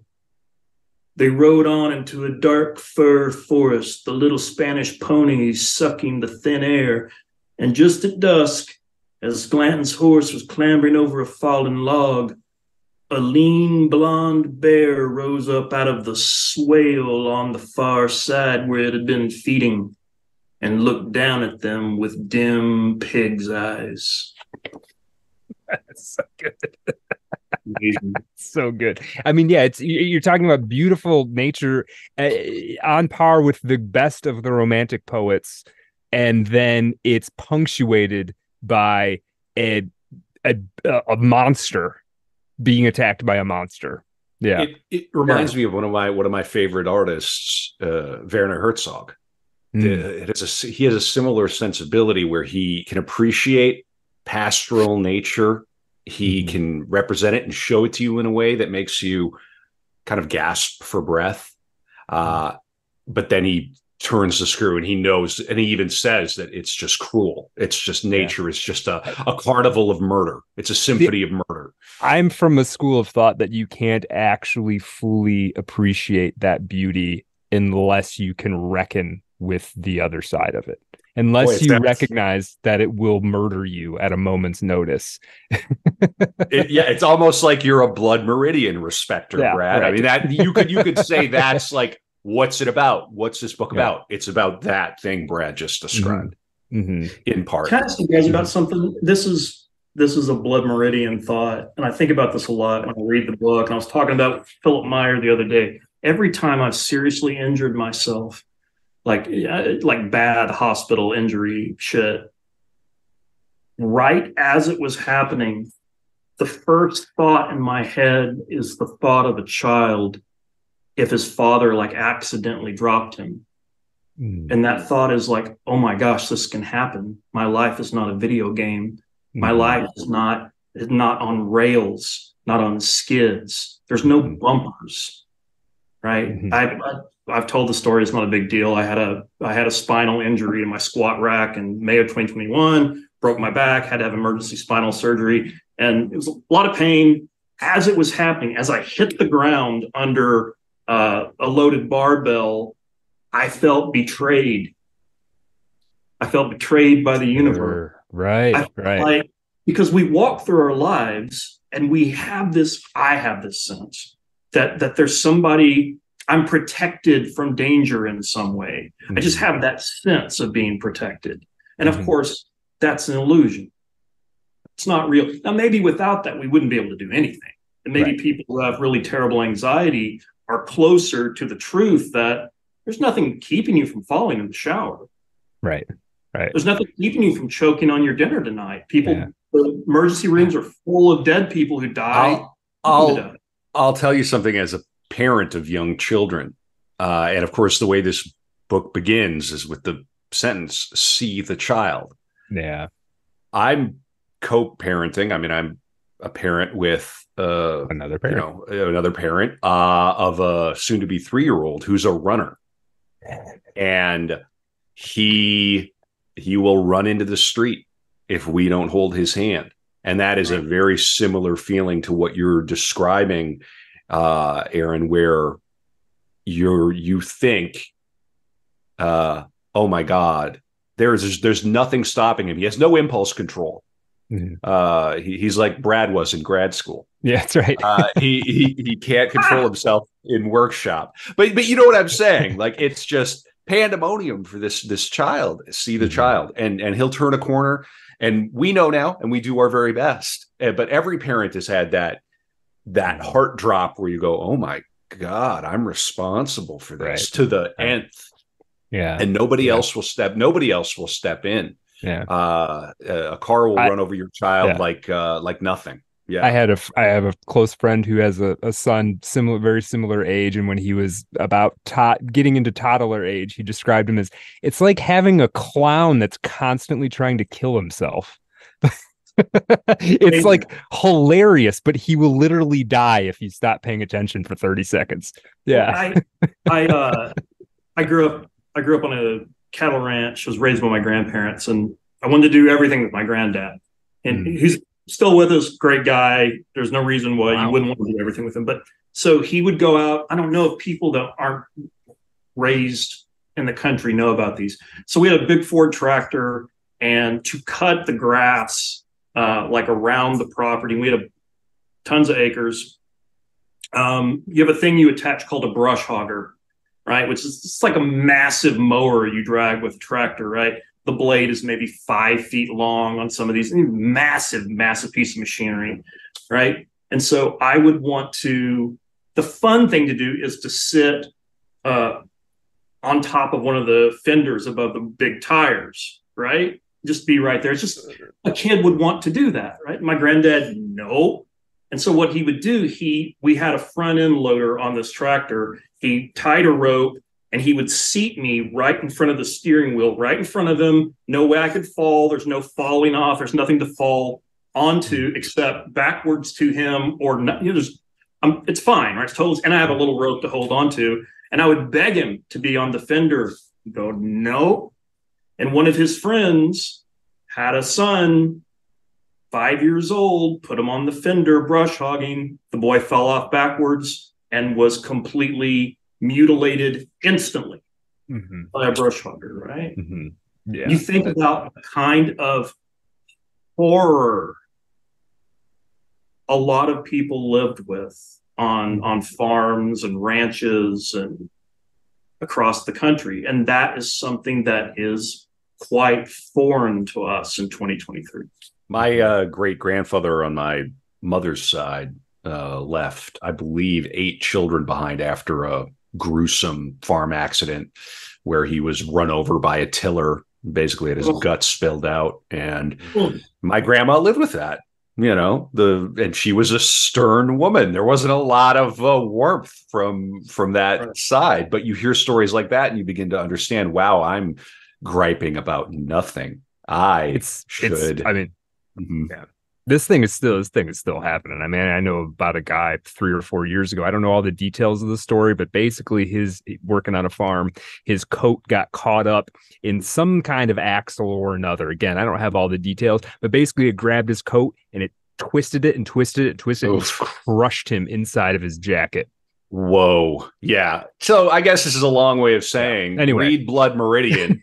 uh, and it, it- but it will, it, it provokes these kind of conversations. I mean, we're, we're getting into, we're, we're going to come up on the third hour here. And yeah, go, go on, Brett. Well, let me tell you, just like one thing I think about a lot in in in a lot of this book to me is weird. My memory of it, having read it a number of times, I feel like I remember most of it, but I don't always remember the sequence of events, if that makes sense. Like I don't always remember what leads into the next thing, but I do recall fairly early on the the um the uh, ambush that the kid survives where the kid and i believe one other guy are the only people who survive and he has an arrow in his leg um Yes. honestly anytime i'm dealing with some even minor endurance thing like i have some minor injury but i got to do something anyway that moment comes to my mind of just a arrow in your leg trying to make it across the desert.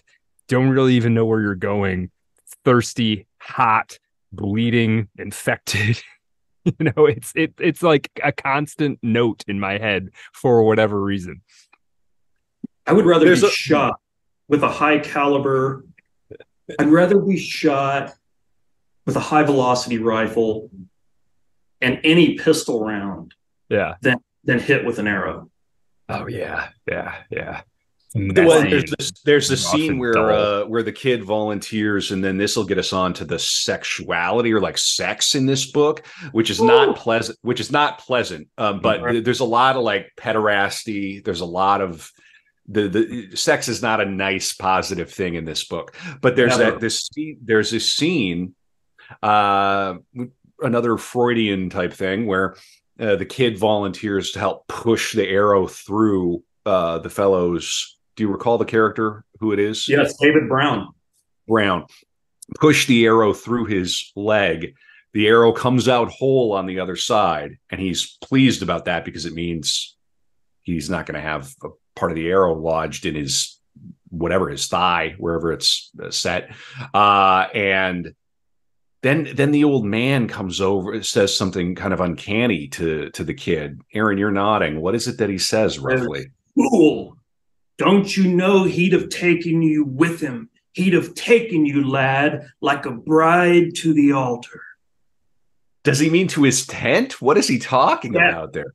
Death. To death. Brown Oh, such physical pain that if that hadn't worked out, that Brown might have just torn his throat out. Right oh, whoa. And, and there's that, but then there's also just the generally taking care of somebody who can't pull their own weight. It's like rescuing a swimmer, right? Mm, like you're in this mhm. environment where the stakes are incredibly high. The wrong step in any direction could lead to you dying. This guy doesn't give a shit about you living. He is in such agony that he only cares about himself, as is human nature. It's not even a judgment on Brown necessarily. That's just how it is to be a human being he Yeah, talks about then- him.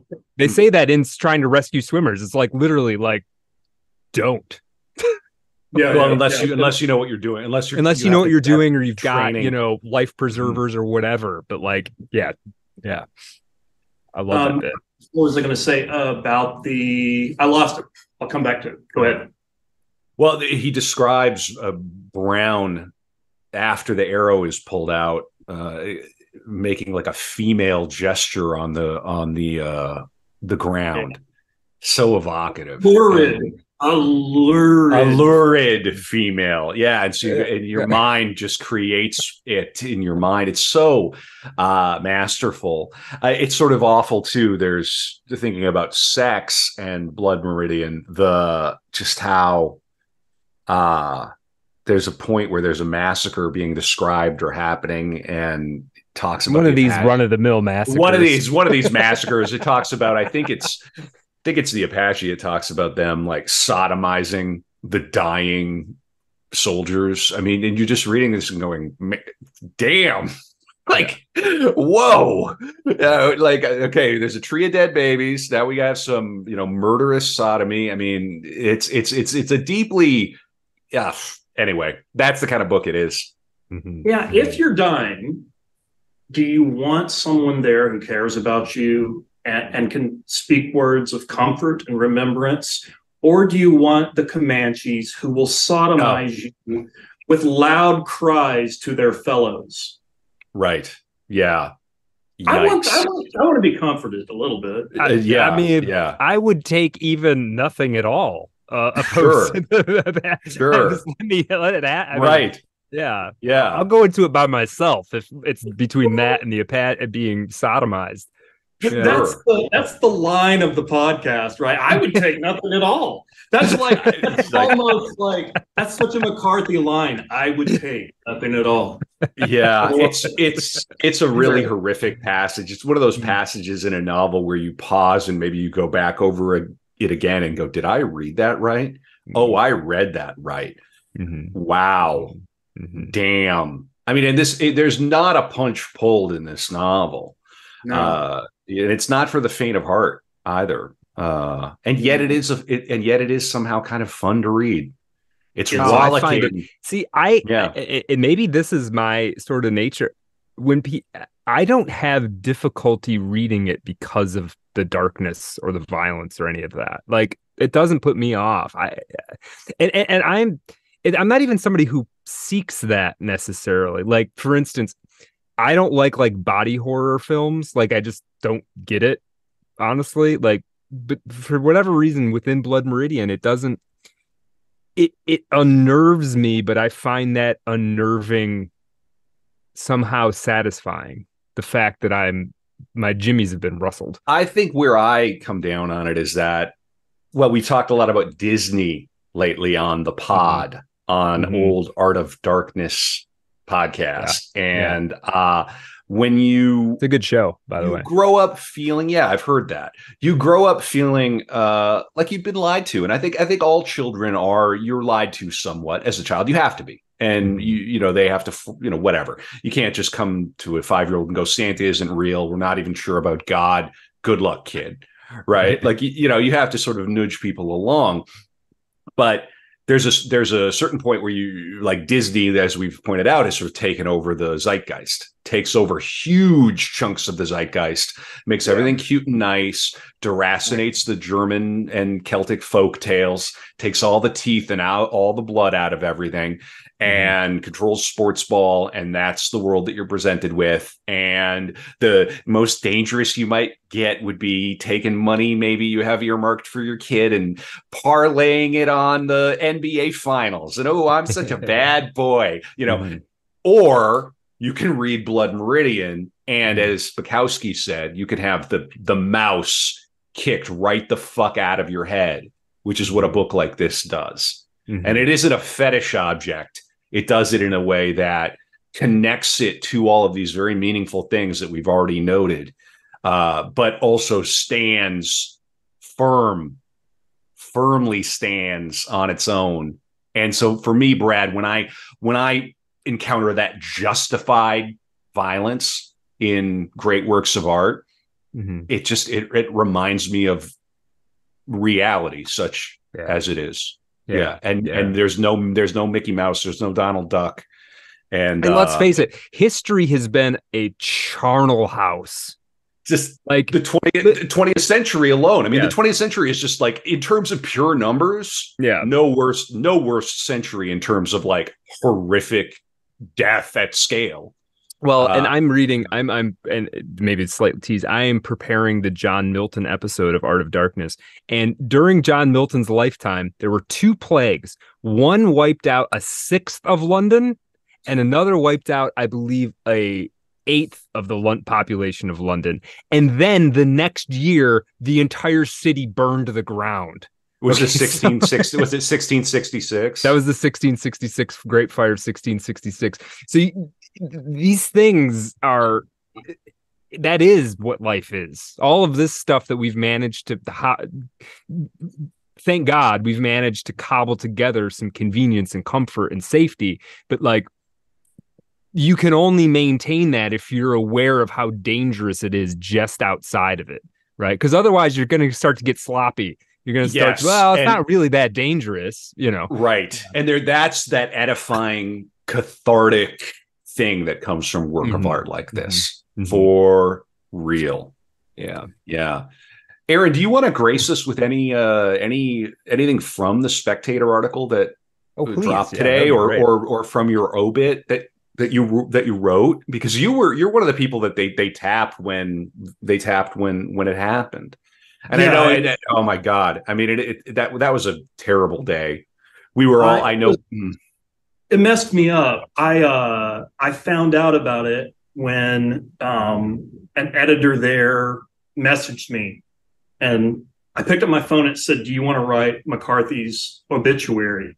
And I'm like, like when he dies someday? And then I was like, oh my gosh, right? And so I, I Oh. Googled real quick and I was like, and I, like he was so quick on it that I mean he couldn't have been it would had just been announced. Like there was I, I when I first Googled, there was there were no articles. I had to go to Twitter because Twitter's a little quicker sometimes, right? Yeah. Yeah. Um It's Are- not are quicker we- with all the details, but it's quicker sometimes with the like. yeah, yeah, yeah, yeah. it'll it'll it'll point if you want to destroy your career no place will do it quicker yeah, that's right. It's the best place to set yourself on fire without having to get gasoline or a match. Um, th- we're are we are we are you getting ready to land us because I have a place to go. If we're are are you are you were you I'm just, Kevin? Were you thinking about landing the plane? Are you thinking toward that?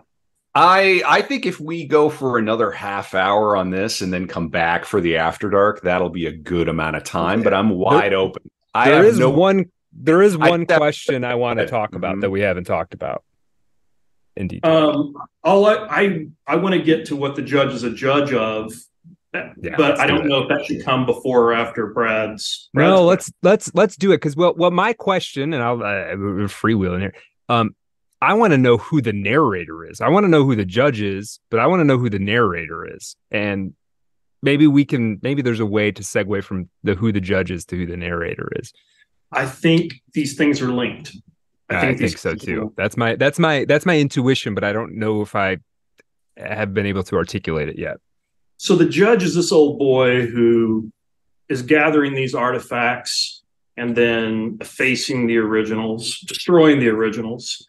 There's a, a passage where the gang is riding along a rock wall, and there are basically cave paintings, but they're they're etchings along the wall. And the judge rides along and he copies them in his book, and then he stops his horse and gets a piece a rock and etches them away.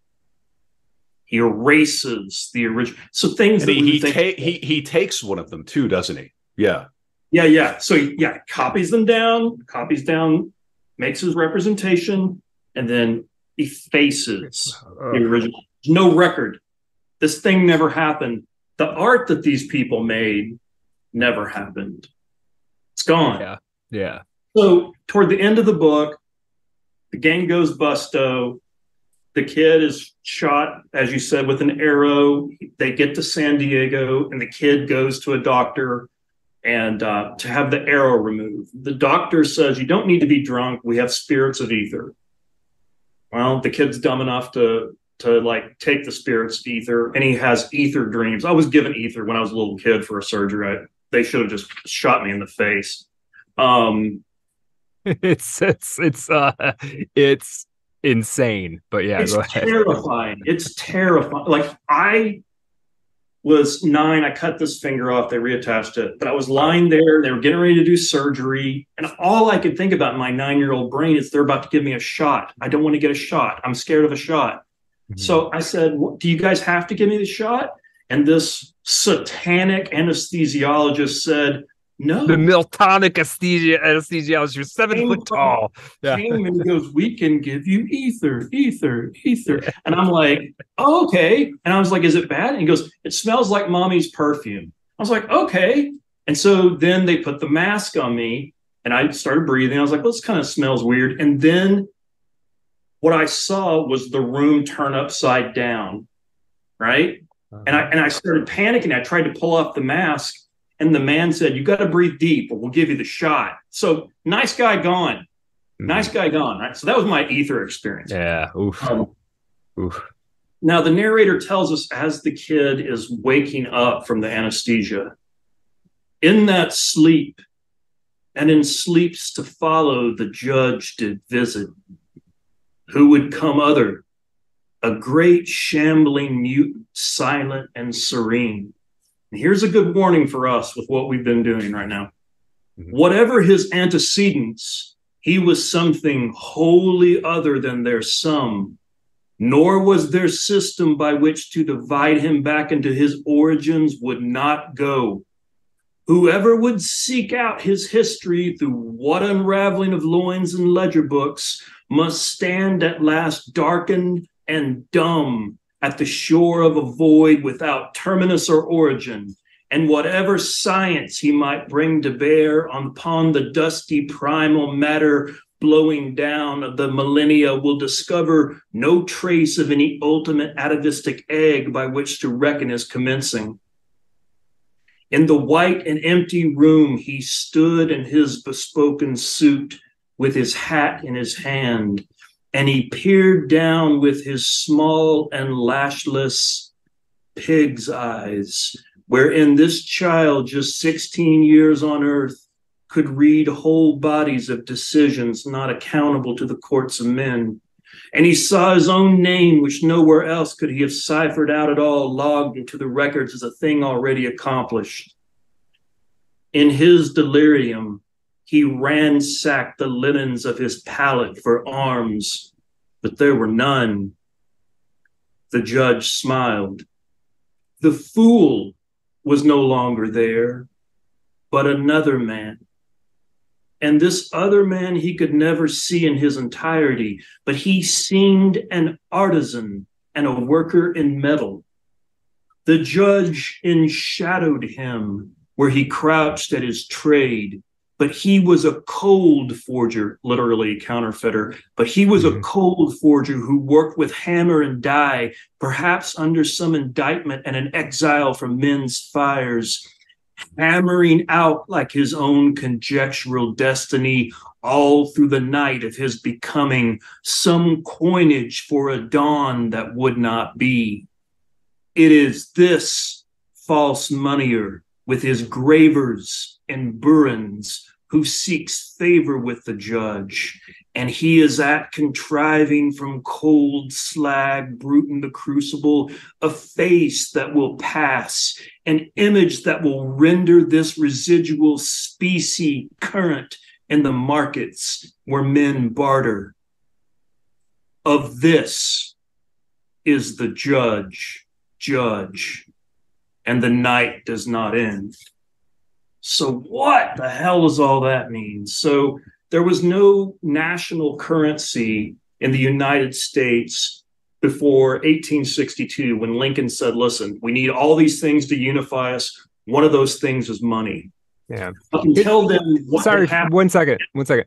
This dumb question. What year is this happening in Blood Meridian? I know roughly, but this is 1850 now. Okay. Right? Okay. 1849, 1850 for most of the book. And at the very end, we skip forward to 1878. Right. Okay. so until 1862, uh, or yeah, until 1862, there was no currency. If you wanted, if you wanted to carry money around with you and you didn't want to carry gold or silver, you know, the coins, there were like double eagle coins minted, right? Mm-hmm. That was called uh, specie any coin, uh, you know, gold coin, silver coin, those are specie, currency or notes. Um, the notes that were circulated were notes printed by banks that were localized. So there might be a $20 uh, note printed by a bank in Georgia. And in that town, and maybe even in Georgia, people will accept that. But if you want to go to New Orleans, you may get to New Orleans and they say, fuck you and your right. Georgia note, right? Yeah. And so there's no national currency. Mostly what people did in order to um, buy and sell is they wrote IOUs. And those IOUs were then traded two, three, four, five more times.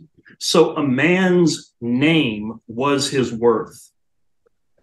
Right. So if I'm in a community and people know me, oh, he's he's a butcher. He always pays his bills. I know him. I know his family. I know him for you know blah blah blah blah blah. But yeah, if I write you an IOU, I know where to find you. I believe you will discharge your debt. All right. Contrary wise, if I say Brad Kelly, you are a blackguard and uh, you know whatever, right? An Yeah, old timey insult. yeah, Well, yeah. Let If me. I- I, am gonna look up uh, 19th century American insults for the Irish. I'll be right back. Oh, just you kidding. son of a I'm bitch. just kidding. All that stuff. no, like, you dude, son of a the bitch, internet. Kraut Couchman. You goddamn. All right. That's right. All that stuff. What I'm doing is I'm literally devaluing your currency. If I Mm. issue, if I issue that those insults and say he's a he's a whoremonger and a Mhm. profligate and a blackguard, people hmm. are like, I don't know about his currency. This is why there were duels in the southern United States. Men didn't fight for their honor; they fought for their cash. Wow, They fought for the worth of their notes, right? That this is is always missed. Like, oh, Southern men and their honor. Oh, yeah, Southern men have honor, of course, but you're fighting for your ability to write an IOU and have accepted a discharge does, right? Yeah, and So- we turn that into like credit score or something. That's right, right. right, Right. right. But- But thank, thank God we have no uh, social credit system in the United States. Yeah, right. yeah. So, so how do you, you know, currency is really interesting because if you make a coin, it has to have the backing of something, a- an institution, a government, right? So that specie or that note will be rendered current in the markets where men barter. In order to be currency, and currency is a note that must be accepted. Legal tender means a bill has to be accepted by vendors. If you walk into a place and they say no cash taken, you can say, fuck yourself. This is the United States. Under US law, you are required to take this bill to discharge a debt. You I'm gonna do that. Son of a bitch, black garden fucker. I'm gonna pay. ca- I'm paying cash for this first edition copy of Legal Blood. motherfucking tender. Yeah, This yeah. isn't Tinder, the app. This is legal tender, the tender. Uh-huh. Okay, so Woo! the judge. that was a hell of a footnote. Yeah. Thank you. The judge is enshadowing this counterfeiter, this cold forger in the kid's dream, right? And this man, man is working with hammer and dies with the tools of his trade. Gravers and burins are more tools that that coiners will use to make coins. Mhm. And the narrator says, you know, perhaps he's an exile from men's fires and he's hammering out like his own conjectural destiny some coinage for a dawn that would not be. It's this false moneyer with his gravers and burins who seeks favor with the judge.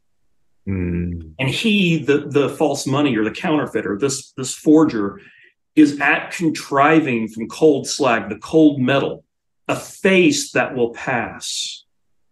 Right? Just like we have Washington's face on a coin or Lincoln's face on a coin or Grant's, et cetera, et cetera. You got to find a face that will pass, an Mm. image that will render this residual species current in the markets where this, where of this is the judge judge. The judge is the judge of representation. The judge is the judge of the process by which the counterfeit replaces the real. Holy so shit. just as the judge Right. collapses a piece of Spanish armor and destroys it, just as he wipes out the the the drawings, the etchings by the native people. All we have is the judge's copy. All Well, we have is He- the, the judge is the narrator, of course. Well, not the nar- I don't think I think it's a little different, right? So here's here's Okay, the distinction. wait, real quick, hang on. You're on a roll. The judge, what does the judge do to that fellow? He grabs him by the head in the bar Right. fight, and until his head is misshapen. So That's that right. comes back to the coin, doesn't it? A head that Yeah, will pass. Anyway, yeah, yeah. Go ahead. Yeah. face that will pass. Like, you know, what Hmm. kind of face can this counterfeiter put on this coin to fool people, right? The judge who who destroys the real and replaces it with simulacrum, with simulation, with a counterfeit. And it counterfeits so real, no one can tell the difference. I mean, counterfeiting is very interesting. And during the Civil War, Confederate counterfeiters were captured because the notes they printed were too good. They're better than the real. Currency- Confederate currency was so kicked in Hmm. and so fake looking. The real shit looked fake, but the Mhm. counterfeit shit looked real. Wow. Well, you can't exist in a world like that. You have to hang those motherfuckers, right. Right. right? You can, you man, if you start fucking with people's money, right? Yeah. One thing. Americans will not. I allow. listen, listen. I live in I live in the Twin Cities of Minnesota, and I don't want to get political, but the the business with uh, Mr. Floyd kicked off over a counterfeit bill. It did. That is an amazing thing, right? So this is something that is still policed today. Oh yeah, by the Bill Secret. Service, no less. By, By an Secret entire Service. different, yeah, int- weirdly. But there, there is something here, and, and this is this is this is like fresh. To, th- th- this is to some degree fresh territory for me. There is something about I in the the last. I guess it's the epilogue. I don't think it's actually called the epilogue. There is the in the encroachment of modernity with the fence posts and we're we're we're coming into a new age of uh, uh, uh industrialism and there is something about now i'm starting to think like something about the judge the world is going to become fake from here on out we're going to transverse past the desert of the real into a world of of manufacture and artifice and synthesis and the judge is going to be uh, what does he call himself Caesar Caesarin? I don't know how to pronounce it. He's going to be he's like so, we're getting into like Baudrillard territory. Like the whole world is going to be fake, but if you can establish something that can you can get a foothold on in that fakeness, you can be king in some way. This is fast. This is amazing. I'm Well, always, and- asking, I'm always asking Americans. I'm a, I I love American history from 76, 1776 to 1876. Those hmm. hundred years are what I'm interested in. I don't care what happens after that. I'm not interested in any politician after Grant. In, 17, in 1876, barbed wire was run. The West was fenced off. The West is over. The Comanche are forced onto the reservations. The Sioux go into the reservations. Wild Bill Hickok is shot. It's all fucking over. It's Mhm. over.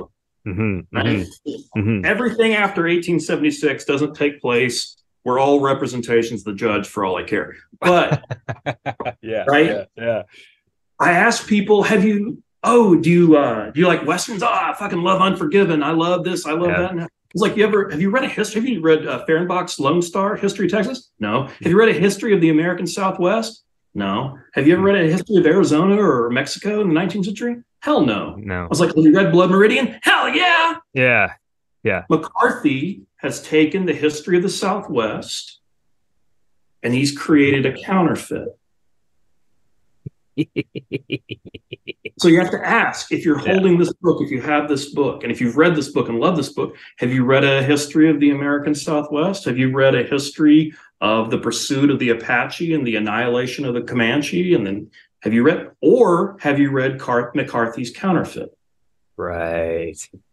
And Uh the judge is the is the one who judges whether the the thing can pass whether the counterfeit can pass as real currency.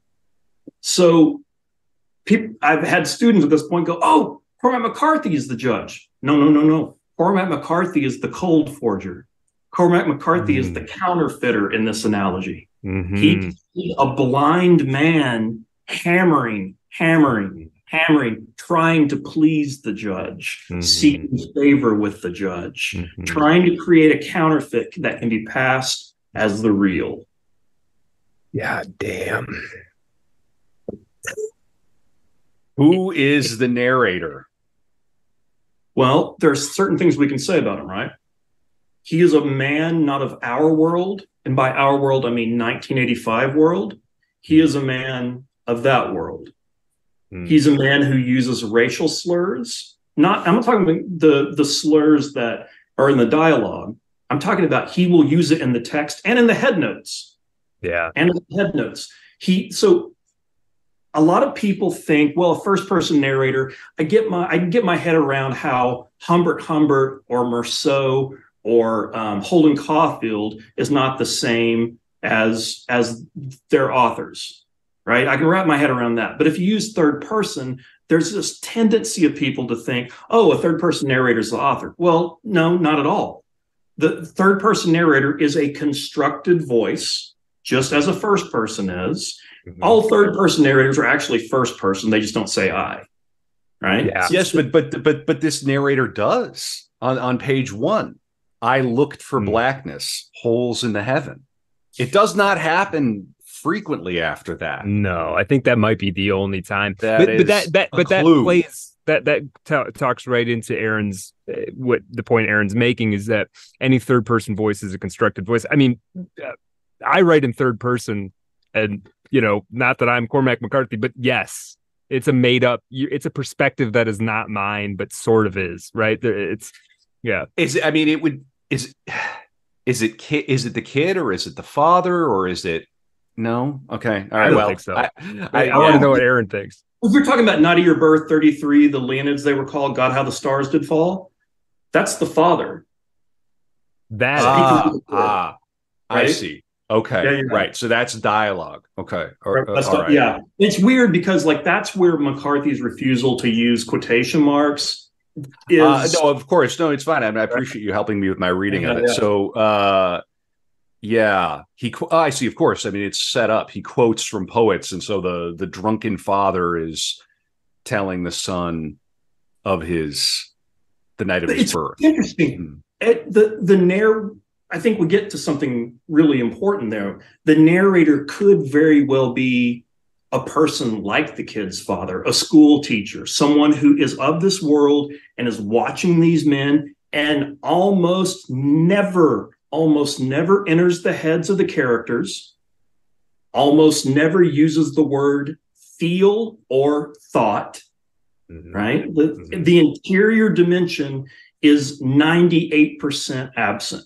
There are a few instances toward the end of the book, the last act, where you'll have you have little shadings with the kid who becomes the man. But for the most part, there is no internality. We are the narrator is watching these men and reporting what these guys do and the physical sensations, Mhm. right? Mhm. I see. I well, and tell me, tell me if this this makes any sense. And I don't know if I've ever articulated this. My feeling is that the narrator, though it you could perhaps embody it, isn't a character that's uh, participating in the story, but is the same narrator of uh the Johnny Appleseed story and the any number of American legends. Who's the narrator of those? Right. it's sort of all of us kind of in a way right that's the way that i think of it it's it's and and does that call into question whether this stuff actually happened absolutely Right, right. well, I think it's it's important to to see. I, I I hate to emphasize this point again. I'm doing it for myself. Mhm. Um, it was so important for me to understand. Oh, this is not narrated from 1985 looking back. It's not that McCarthy created a narrator who looks back at this time from the distance of more than 100 years. McCarthy mm-hmm. creates a narrator who, from the very first sentence, is present at you know in the spirit of of narration as if he's hovering and commands see the child. Mhm. he is pale and thin right? That so he is of this world of these people. He doesn't make many judgments but he makes some. He makes some. When there's a dis- there, there's a distinct one i remember where they're um they're camping out and there are bats and it just says they were afraid and that one really rings for me there there's a few others but that's the one that really like um that's it's powerful. He McCarthy from is saving up for these handful right. of moments. That's right. Yeah, to get the right. absolute most out of them that he, that he possibly can. There's a passage where Glanton performs what's basically a mercy killing, which is strange. He kills a woman in a park, mm-hmm. right? He shoots her. And but before he does that, he does something very unglanton. He distracts her. He he he like gets her attention and he points. And when she turns, he shoots her. And and what the narrator says is the explosion filled all that sad little park. Well, mm. sad? There's nothing in in the narrators. The narrator doesn't usually make comments like that. The narrator doesn't tell us something sad. We fucking know the whole book. We know, we know it. Yeah. yeah, this is fucking bloody as fuck, and people are yeah. losing it, right? So yeah. the narrator really um, doesn't often do that right? And so you have little things like that. If you have evaluations, they come from the characters. Right. It's right, something, right. I mean, it taught me studying this book as someone trying to write fiction in my mid 20s, taught me how to begin to create characters on the page that could be known to a reader purely through what could be dramatized, right? right? Through what they say, what they do, their appearance, right? And and to really locate that drama in the physical and the noble. Now, of course, one of the great things about fiction is that you can enter as a writer, you can enter that internal interior space. And you know and do it beautifully and all this other stuff. But I felt like when I was starting, I wouldn't say anyone else has to be this way. I wanted to capture the external drama first. Yeah. I, I felt like I had to nail that. Um, and McCarthy, I'm, I'm, I'm exactly with you. This is the big thing I learned from McCarthy was was uh, dramatic third person, and not that I would go as hardcore or even try to go as hardcore as I am about keeping outside of the character's head. But what it drove home to me was like, if you're going to go into the character's head, it better be fucking worth it. That's right? right. Like you can't just go in there and say, "Well, he then he thought this thing that you could have dramatized." It better you better do something that can't be done in cinema, that can't That's be right. done in, in in any other art form except for fiction. Well, I, I agree with that. And, and, Kevin, as a dramatist, as a stage dramatist, yeah. um, you know, there are ways of cheating that. And the chorus is a way of cheating that, mm-hmm. right? But for the most part, I mean, if we're in the audience, we're watching a play, we know what's going on because we see the, those characters on stage doing things and saying things. Right? We see the exterior and the external. We're not grant for the most part, we're not granted access to their minds unless you do the soliloquy. Right. Unless you do the chorus. I mean, you can it's not cheating, but you can do something else. There are devices though. You can make characters talk to them. You know, there are ways of getting doing it, but that's right. Yeah. So, yeah, who is the narrator? Well, yeah, we don't know exactly, but there are things we can say. There are things we do know. We know who it's not. We know it's not a person of 1980s. We know it's not a, a person isn't someone who entered the 20th century. Right. right. This is a person that's close to these events. Yeah, and you know based on diction, if nothing else. Yeah. Yes, the, humor. Yes. Yeah sense of humor, the syntax, the diction. Though, of course, mm-hmm. of course, as he's McCarthy, he has learned all the lessons of modernism, all the lessons of irony, and and I mean, I people talk about as a postmodern Western. I mean, sometimes those terms don't make a lot of sense to me. They don't seem particularly useful. I, I see McCarthy as as carrying on the project of modernism. He he seems to have learned all his lessons yeah. post Melville and Twain from Hemingway and Faulkner um, and T.S. Eliot. Yeah, big time, yeah. big time. Yeah, that I, I haven't really heard it.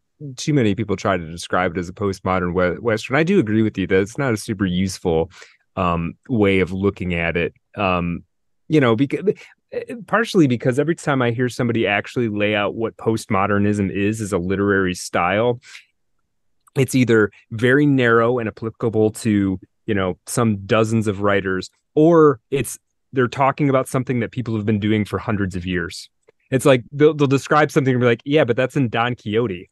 So what do you like? What do you mean postmodern? That's right. right? Yeah, well, that's but that. I mean, the novel starts in that metafictional space, mm-hmm, mm-hmm, it does. The, the, early 17th century. So yeah, yeah, the meta, and then almost all the first English novels after Robinson Crusoe, Moll Flanders, like Tom, uh, Tom Jones and Tristram Shandy, they're highly metafictional. Right. Highly right. metafictional, yeah. self-referential. Yeah, it's almost it gets to a point. Well, this is a it almost gets to the point where the more postmodern thing would to do would be to not be metafictional. Right, yeah, yeah, right. right. Well, yeah. I'm just gonna tell a story straight. That's bizarre. Yeah. I think McCarthy shares the ideological. I mean, I would say I know he doesn't. I don't yeah. think he shares the ideological values of people like John Barth, um, of of some of the metafictionists and postmodern writers of the 1970s. I think he sets himself very far mm-hmm. apart from that. And, and I've said this before. Um, I, I think that this is, for me, it's not really, it's inarguable. I think McCarthy's a Catholic writer. He's not Catholic in the sense of a Graham Greene. He's not mm-hmm. Catholic in the sense of a Flannery O'Connor, who he adored, by the way. Mm-hmm. But he was raised Catholic. Uh, all of his training is Catholic. His early schooling is Catholic. And his moral worldview is entirely Catholic. Mm. The, the, the world of Blood Meridian is a world of transgression. It's a world of falling from grace. It's a world of men existing outside the, the, the light of God and the light of communion right? It, it, when it describes various things that we've talked about, it describes them as being travesties of mass. You know, the headless Christ circling past the judge like communicants.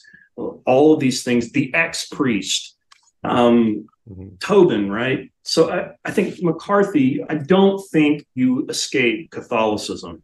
You can say I'm no longer a practicing Catholic. Right. I, I think that stuff is deep in McCarthy's work. So, so what do you make of this? Excuse me, this this Gnostic notion is this sort of like because the way because I, I agree with you, and when I, well, yeah, what do you make of all this?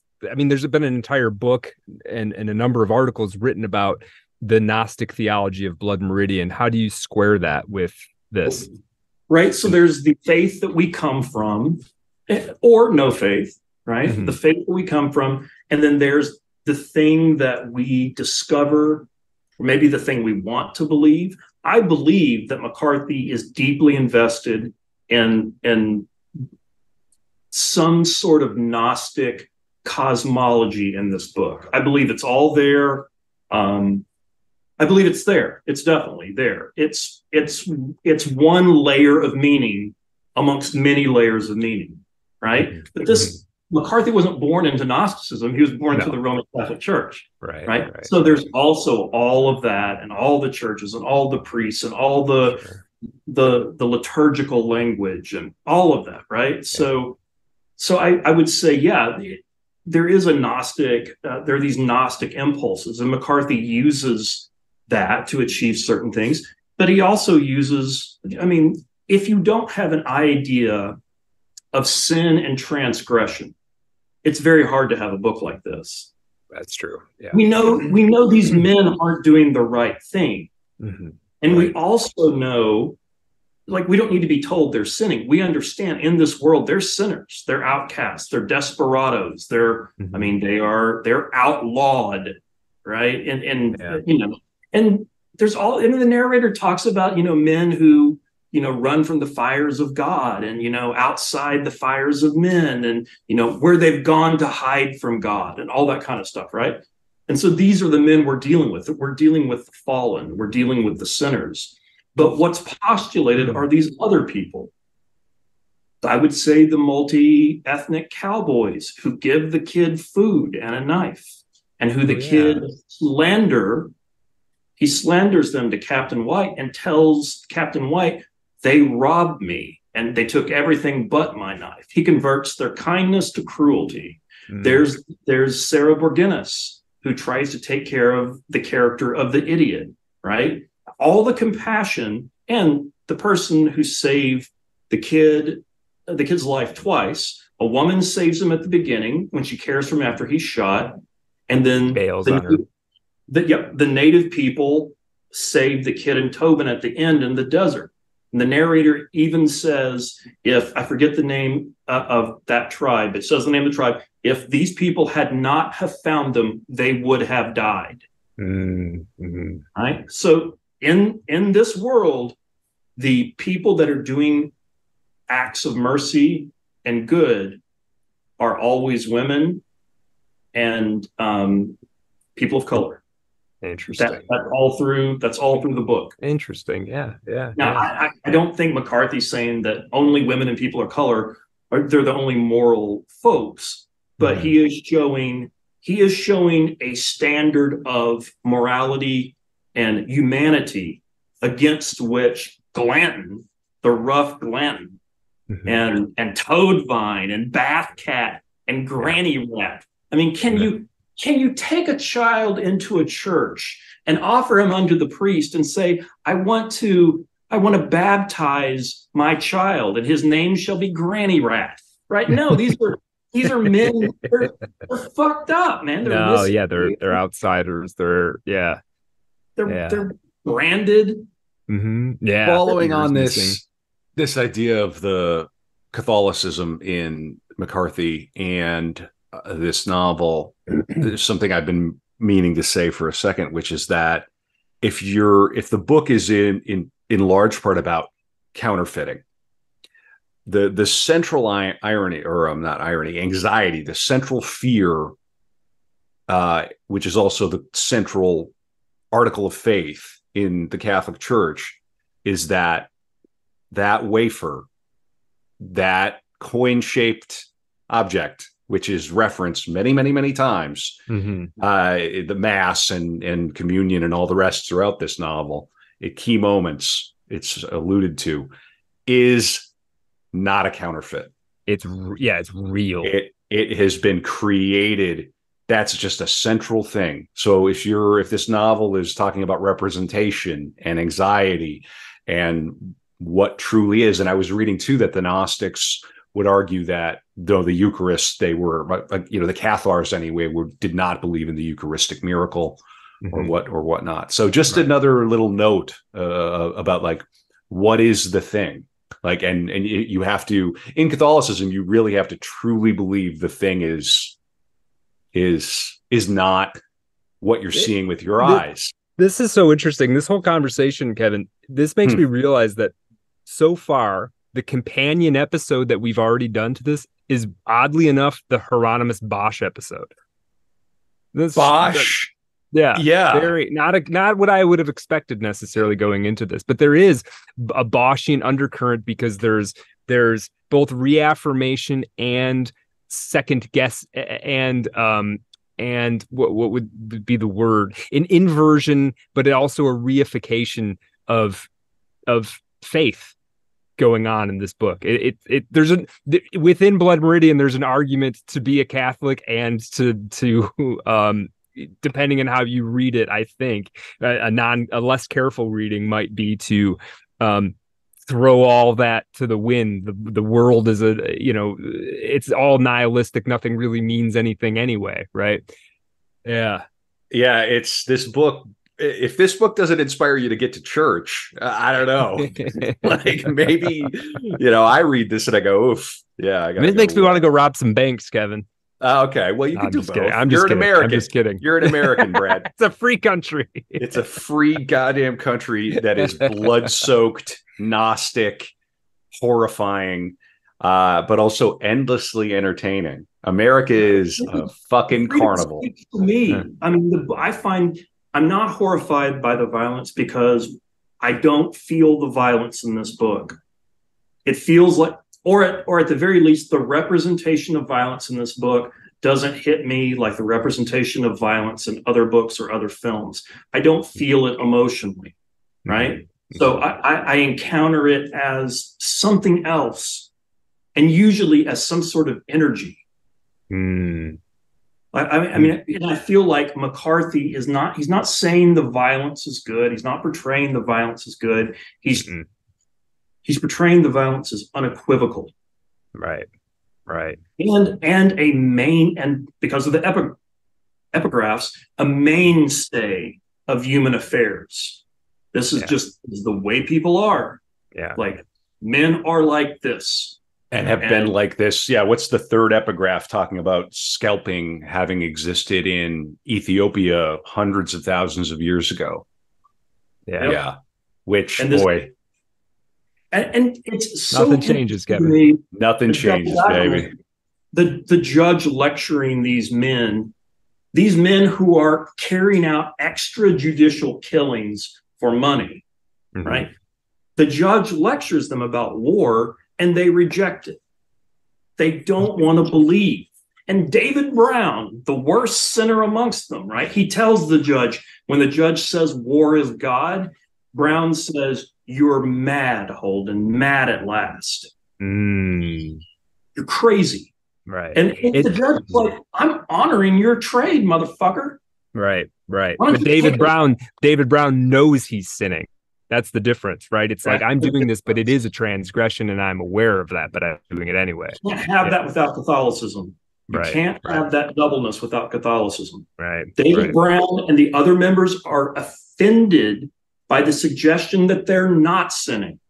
Mm, No, we lie outside the grace of God. We are Right. committing transgressions. The judge Right. says, No, you're not. You're involved in Right. something more important. Oof. Oh, yeah. Well, boys, what are we what are we going to talk about on the After Dark for Patreon? Patreon.com slash Art of Dark Pod. As you can tell, if you're new to this podcast, this is not the core of what we do. The core No. of what we do are biographical profiles of dead artists. We always wait in a, a year and a day before covering anyone. So we have not had cause or time to cover the great Cormac McCarthy yet. However, Yeah. we are breaking our own rules because of the the weight and the import of this and also Aaron's expertise and frankly urgency at getting out some media, some I guess content about this very very important book that means a lot I know to all of us. Uh Aaron, what where is your Substack for people who can't get enough of the Gwyn? If you're not Gwynned out You by need now, more Gwyn. If you Mhm. if you just if you're not already sick to death of me, um, Ah. my my Substack is bloodmeridian.substack. Right. So I I have the, the I mean they've it's, it's become a blood stack blood stack. stack. Bloodstack.com. Yeah. It's Nice. Substack bestseller. Yeah, yeah, yeah. So my uh, yeah, subscribe to my blood stack. Uh, I'm on Twitter at American Gwyn, G W Y N. I always post new episodes of my Substack. There is stuff now that I've got a free tier. There's shit you can look at if you're interested um, and see if it's right for you. And then there's a paid tier if you want more. Yeah. Right. And, Excellent. and Thank you. Aaron is a fine novelist in his own right. You can find his stuff wherever you would find such things. Uh, Mm-hmm. He's also going to be back for our book club, which we do for Patreon. And as I said at the beginning of this episode, we had Blood Meridian planned prior to uh, Cormac passing away. This is true. That's going to be in December. Aaron will be there with us. So let's just say this is like uh, Christmas early. This is Christmas Mhm. in July for people uh, who were waiting for the Blood Meridian book club event. in prelude. December. It's a prelude. We're going to do Yeah. more. We're going to be thinking about Blood Meridian for the rest of our goddamn lives, I'm Mm-hmm. sure. Uh, I'm actually pleased that I got ahead uh, of reading it. It felt like it had it, it had been too long since I had read it. Brad, what do you want to do to close this out before we come back and go for another minimum half hour, probably an hour Yeah. for this very special, darkest of all dark rooms? Well, I think, you know, I, I think, what if I just pick a random passage? Okay. Yeah, use Dark it, room. use this, use it like divination. Oh, and by the way, on the After Dark, I'm going to ask you about the tarot scene. Yeah. Oh, I want to talk about the tarot Okay. parts. We're going to talk about tarot in the in Blood Meridian, and we're also just going to talk a little bit generally about how what eh, could Cormac McCarthy be published now, if he was starting out now? Could Blood Meridian exist now if it was coming out now? How does this, how have things changed? How are they the same? Uh, maybe he would be at a better advantage. Who knows? But I want to get uh, everybody, all three of us have had different relationships with that world. And I'm curious what you guys think. Um, and we're going to talk that, about tarot because the tarot features prominently in Blood Meridian. We haven't even talked about it. Last thing yeah. I'm going to say patreon.com slash art of dark pod. If you can't chuck five American dollars or the equivalent of five American dollars at this podcast. If you don't think it's worth it, if you're a frequent listener, you've listened to three, five, ten core episodes, and you're not chucking a buck, I don't know what to tell you. This thing does not make itself. These guests do not book themselves. Although Aaron, uh, Aaron has an open door. He'll come. He'll come on whenever he wants to come on. What? You seriously have got to be supporting shows like this if you want them to continue to exist. Brad and I are both generous guys. Brad's yeah. a father. I'm a father. We're both artists. We are creative people. We got a lot going on, on in our lives. If you want to see Art of Darkness continue for another year, another two years, another five years, another 10 years, get out your credit card, get on Patreon, show support. I'm kind of done fucking around with it. Like, I love you if you listen. I pre- we appreciate you, but that material support goes a long way. And hopefully, you think of us as a little bit more than just another entertaining show that you maybe tune into once in a while. And I and I hope an episode like this really showcases what what it is we're trying to do. Yeah, Aaron. If you're not willing to lay cash on the barrelhead, you better be at contriving from cold slag, brute in the crucible, a face that will pass something that will render you better counterfeit some shit and you better make it real and you better send it to my boys. I love it. I love it. We're gonna close with this. We're gonna close with this passage that I pulled. I just flipped through to found the first passage that I had outlined. They rode on into the darkness, and the moon blanched waste lay before them cold and pale, and the moon sat in a ring overhead, and in that ring lay a mock moon with its own cold gray and nacre seas. They made camp on a low bench of land where walls of dry aggregate marked an old river course, and they struck up a fire about which they sat in silence, the eyes of the dog and of the idiot and certain other men glowing red as coals in their heads where they turned. The flames sawed and the wind, and the embers paled and deepened and paled and deepened like the blood beat of some living thing eviscerate upon the ground before them. And they watched the fire, which does contain within it something of men themselves, inasmuch as they are less without it and are divided from their origins and are exiles. For each fire is all fires, the first fire and the last ever to be. All right. That's it. Thank you, Aaron, for your time. This was amazing. Thank you, wow. audience, for listening along with us. Um, more to come. We'll be back on the After Dark.